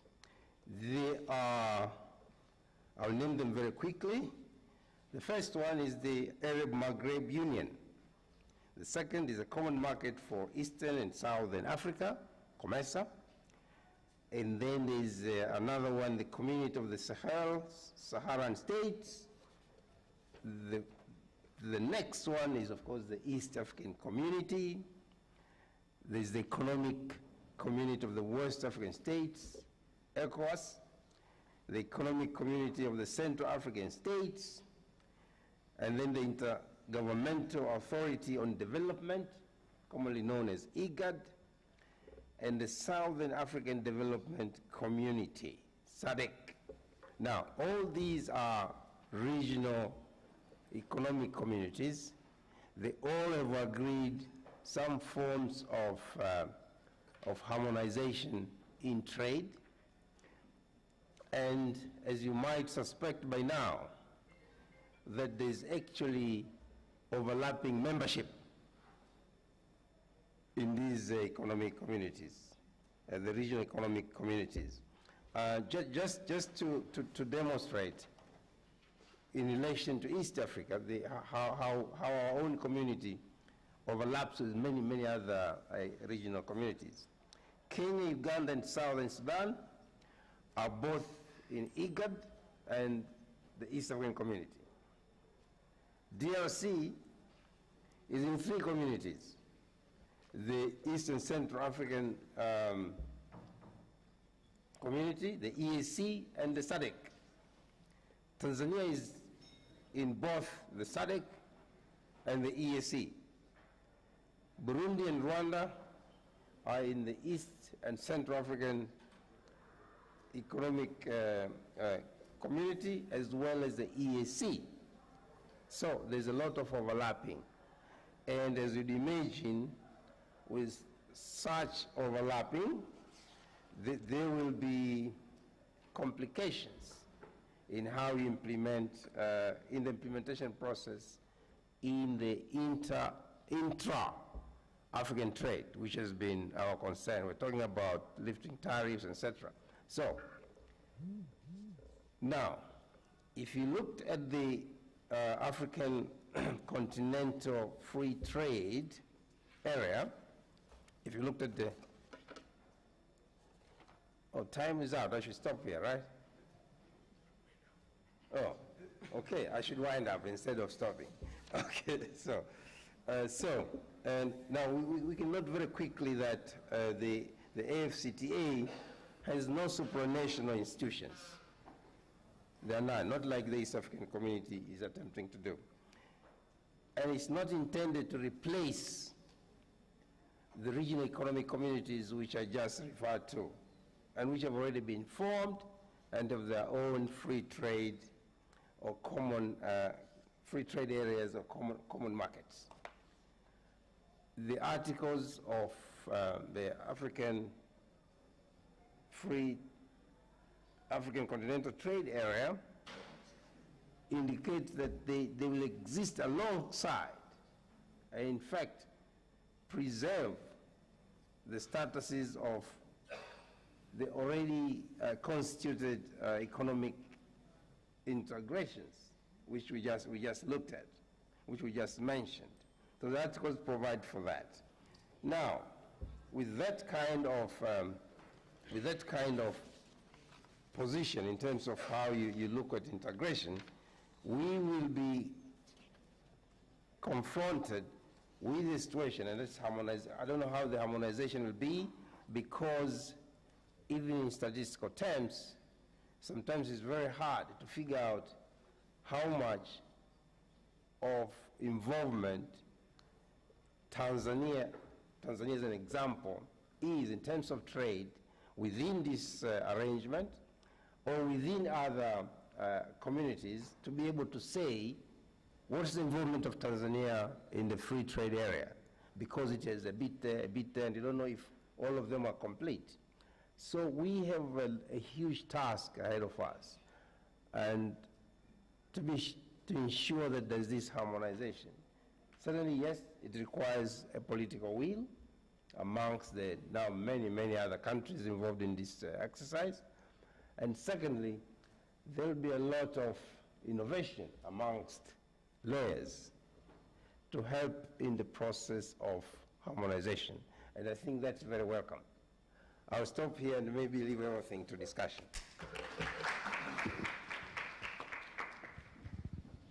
Thank you very much, uh, Robert. Uh, you emphasized the several regional economic um, committees, commissions, and um, organizations which have an overlapping effect on uh, several countries. So that's uh, food for thought and uh, probably will attract some questions. Uh, let not waste much time and go straight to Mr. Ryan KitKat from Bowmans, and uh, he will give his views on this matter. Habari. Uh, please excuse me, I'm going to speak English. Uh, bado nachifunza Kiswahili. Um, I was told that I have two minutes, so this is a compressed version of what I was going to say. Um, Harold Koh, the Dean of Yale University, uh, had a very nice saying, which I think is apposite. He said that theory without practice is as lifeless as practice without theory is thoughtless. Theory without practice is as lifeless as practice without theory is thoughtless. And I think here, talking about the EAC and talking about AFTA, we have certainly these very ambitious projects, political, legal projects, trade projects, a lot of theory underpinning them at this stage. and a lot of practice to get to where we want to be as a community, as a continent, as people within that continent. Um, the topic I was given to talk about is opportunities for lawyers and their responsibilities in contributing to deeper economic integration in the EAC under AFTA. Um, there's a lot going on there. A lot of it has already been covered by Mr. Onyago at Triple OK, so I'm going to give a compressed version. I think, and I'll talk about responsibilities and then opportunities. I mean, to distinguish, I mean, Dr. Kapinga has talked about EAC as a building block for AFTA. EAC is a different beast. It talks to the objectives being widening and deepening cooperation amongst the seven partner states in political, economic, social, cultural fields, research, technology, defense, security, legal and ju judicial affairs for the mutual benefit of the seven states. Obviously, there's a lot going on there. We're focusing on economy here, but I think to make a broad comment, without the rule of law, it's very difficult to achieve economic integration, economic progress, um, economic development that is for the benefit of people within each of the countries within that cust the customs union or common market, whatever it is. Um, the same goes for AFTA. AFTA is a different beast. Um, it's a free trade area. There are, there are very few institutions. There's a secretariat, obviously. There's the Council of Ministers. To Dr. To Dr. Um, Kalumia's point, we don't have an EU body at the top. It's left to the, to the quote-unquote big men, um, which means it's reliant on, uh, very much reliant on political will.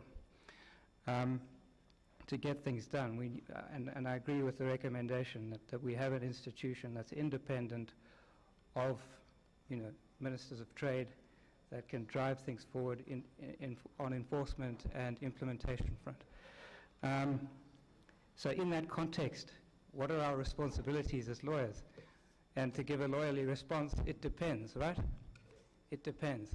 A lawyer from the DRC is in a, operating in a different environment to a lawyer from South, to South Sudan, um, to someone like me who's come from South Africa, um, you know, to someone from Tanzania.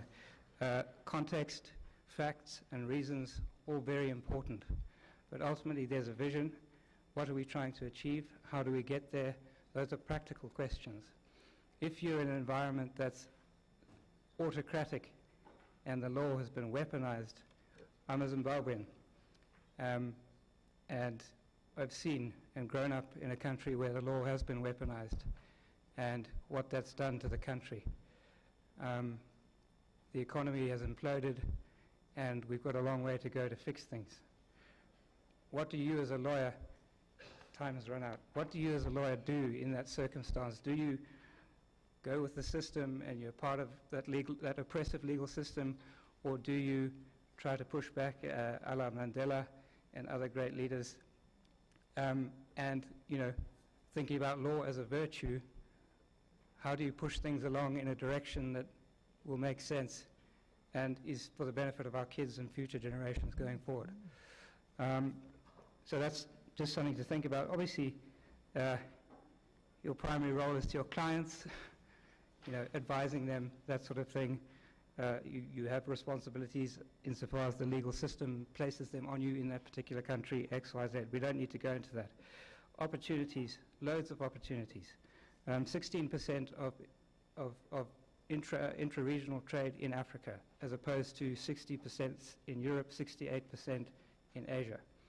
Um, uh, you know, these protocols under AFTA, trade in goods, trade in services, um, intellectual property, digital. What do we do about digital? 1% of the globe's data capacity is in Africa, a huge continent with 1% of data capacity. We need to be digital to uplift our communities, to allow people to run their small businesses, to, to, to submit uh, comments on legislative processes. Talk about capacity. People have mobile phones. They send M-Pesa. We can send comments to the legislature. Um, you know, we just need to get that infrastructure in place. Um, opportunities are there. Academics submitting to su- submitting papers, um, trade lawyers, you know, lobbyists lobbying your ministers of trade and industry to push in a direction that makes sense in line with the broader vision. Um, you know, climate change, sustainable development. Well, how are we developing, and in what direction? Lots of questions, lots of scope for us to contribute, lots of opportunities. Um, a key point that I want to just elaborate on, someone made it earlier, is, is infrastructure. We need infrastructure. We need schools, we need roads, we need ports. Um, there is a report out by McKinsey, 80% of African infrastructure projects fail at the feasibility, feasibility and business, business plan stage. Why is that? There, there's this perception that there's a lot of risk attached to African infrastructure projects. Um, the same report suggests that there's $550 billion worth of assets held in pension funds and DFIs and whatnot that could be directed towards African infrastructure projects. Um, we need 108 billion odd dollars a year to get things done. How do we, how do we get the wheels of industry working? How do we create a regulatory environment that is conducive to projects, the projects that we need? And how, is we, how can we as lawyers contribute to that? Lots to think about. Um, I'd recommend that Dr. Dr. Uh, in his upcoming tenure, uh, looks at some looks at, some ALS projects and submissions that we, as a collective, as lawyers from the seven different countries, can can work on and contribute towards. How do we get it done? Thank you.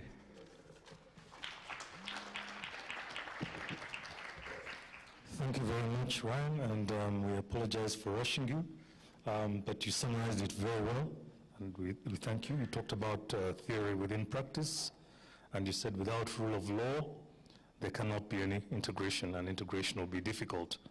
Um, you talked about the political goodwill to get things done. We have a lot of um, things done by the politicians at the top, whereas probably it should be uh, the bureaucrats and the lawyers, people who have better knowledge um, doing these. Yeah, you talked about the role of digital, climate change, and infrastructure on everything that we uh, we're trying to do as far as integration is concerned. So we thank you very much for that. Please give him another hand. And now our last but certainly not least um, panelist, we have from the Democratic Republic of Congo, Dr. Joseph Yav, who is the founding partner of Yav Associates, which is from the Democratic Republic of Congo. You're most welcome.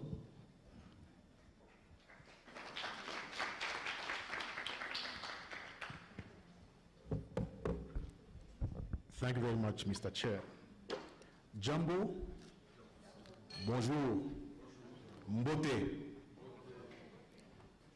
Yes, the DRC is big, but we are still baby well, as we just joined the EAC. But we think that in few, in few years, we'll become bigger than the other six countries. I will raise some, I will address this, uh, uh, my, my presentation by raising some points. The first one, I heard that in Congo we do have the 27 bar associations. Let me clarify that. We have one bar, one national bar association. Congo is big. Previously, or five years ago, we were DRC uh, got how many? 11 provinces. But with the decentralization, we have now 26, 26 provinces. So our bar, the- we have national bar and we have provincial bar, local bars. Our bars are linked to the Court of Appeal. So in each province, we have a Court of Appeal. Myself, I'm a lawyer belonging to the DRC because I have a registration number with the National Bar. But I'm linked, I'm a member of three different provincial bars where I have offices. Lubumbashi, that is toward the Zambia, Kolwezi, those are the mining area, rich mining area, and Kinshasa, the capital city. But um, I work in the entire country, the DRC, because I'm a lawyer registered at the National Bar. So, yes, if we say, if we exclude the National Bar, in each province we have one bar association, provincial, uh, provincial or local, except in Kinshasa. In Kinshasa, where it, that is the seat of the national, but in Kinshasa we do have two court, two court of appeal, and then there is two, uh, two separate bar association there, and I belong to one of that. So that is clear. We, we came here as one to join the EAC, uh, the uh, community, and so on. That's the first. That's the first remark. The second remark, I would like for this integration, for the EAC integration, there is an issue of language barrier. So we have to address the issue. I was we, with one of my colleagues from Uganda, he's just, he, he, we're in Miami because we're member of the I, IBA. We find there there's only Nigerian. Most of the Africans are from Nigeria, lawyers, Nigeria. But they're asking us, other Africans, to join, to be in number there. Thank you. To be in number, but I said, no, but there is an issue. I can speak some English. But my other colleagues from my country, even in Rwanda, no, Rwanda now, yes, but Burundi sometimes may be difficult. So if we want to, to play, the, the, the, uh, we need the real integration. People should also speak easily their language. We speak Swahili. My Swahili is not, my Swahili is not as good as, as good as yours, but I can understand what they're saying, I can speak. Nimesikiliza, nimesikia wote ili mnasema. But sometimes it's, I was, I was surprised here. Uh, I was looking for tomato, tomato with, uh, with, with onion and uh, nanini. And they said, no, it's nyanya. Nyanya for me is another thing. In French, it's aubergine. Nyanya is aubergine. What is aubergine? I don't know. Huh? Okay. Let me address two issues quickly. The DRC belongs, yes, to uh, several RECs. But by joining the East Africa community, it was on purpose. Why? Firstly, on the security issues. So we joined the EAC because when we, re we read the treaty establishing the EAC, there is this, uh, you, you, promote peace and you address the issue, issue of securities. So it's better that the members, rightly yesterday, Mama Samia, she talked about that, that at the eastern part of the Congo, there is issues that have to be addressed by the, uh, the, the, the, the, country. Thanks, there is a regional force and so on. Secondly, there is still things of economical and so on. The BDRC, we are big. We have more than 90 million people. It's an opportunity for the EAC. We, we have natural resources, natural resources. But the, the bad thing with us, we do export. We do export our natural resources. We import everything, including food. So by joining the Eastern Africa community, it's also a market that we are bringing, but we also expect to get industries and uh, investors to come and develop as far as the, the, the, agriculture is concerned, as far as the, the, the industrialization and so on. So being together will be more stronger than the DRC remaining in the SADC only or in the, the Central Africa only. And we are closer. The DRC is the only country within the region, the Eastern African, that have five or six neighbors, members of the EAC. That's being by, by, that position. So we have the right to be here and to speak, but to speak, we have to speak in English or Swahili. Uh, Finally, yes, the DRC bring strength and weakness. But the threat, our threats are more if we put in a balance. we put more than what we can fear uh, for us to, to be with you.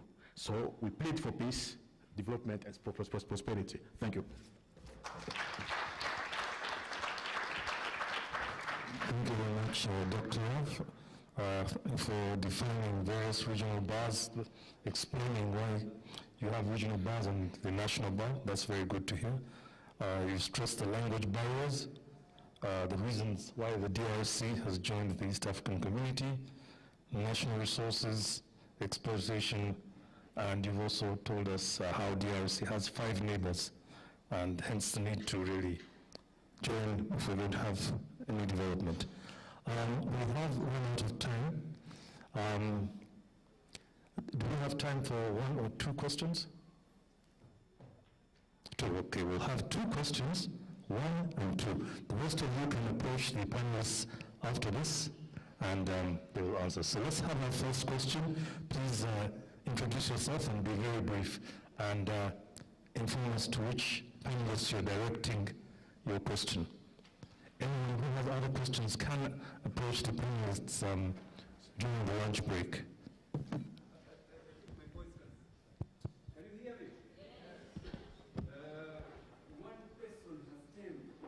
Times of London, they envisaged East African Federation to be the global power of Africa. When I heard all the presentations, I did not hear anything commenting on how we are going to overcome those people don't want us to unite to become the global power of Africa. Help me that. Thank you. Okay, your question is uh, uh, aimed at uh, which panelist? And to int- introduce yourself, please. Okay. Uh, my name is Ibrahim Bendera. My title is uh, Captain Ibrahim Bendera. I'm a captain of ships also. So thank you.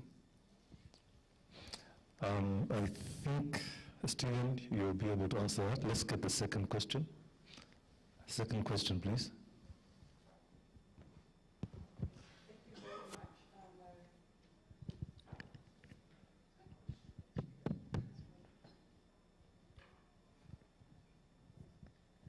Sorry, Dr. Sarah Bireete from Kampala Center for Constitutional Governance. My question goes to Mr. Niyonzima Stephen on the expansion of the community. Whereas there are many benefits to derive from the expansion of the community, I have questions on the rushed manner in which we admit members. The minimum standards for other regional groupings is a phased process of admitting members through the observer status, co-opted member, and then full member as you do capacity building on the requirements for compliance. And we have seen the turbulence on compliance with South Sudan. I don't know how it will go with DRC. And now we are quoting Somalia to join the community. Why don't you do a phased process of admission and capacity building for new members? Thank you. Thank you very much. Those are two questions for Stephen Niyonzima. Um, if you could reply them in that order and as quickly as possible. Yes, you can.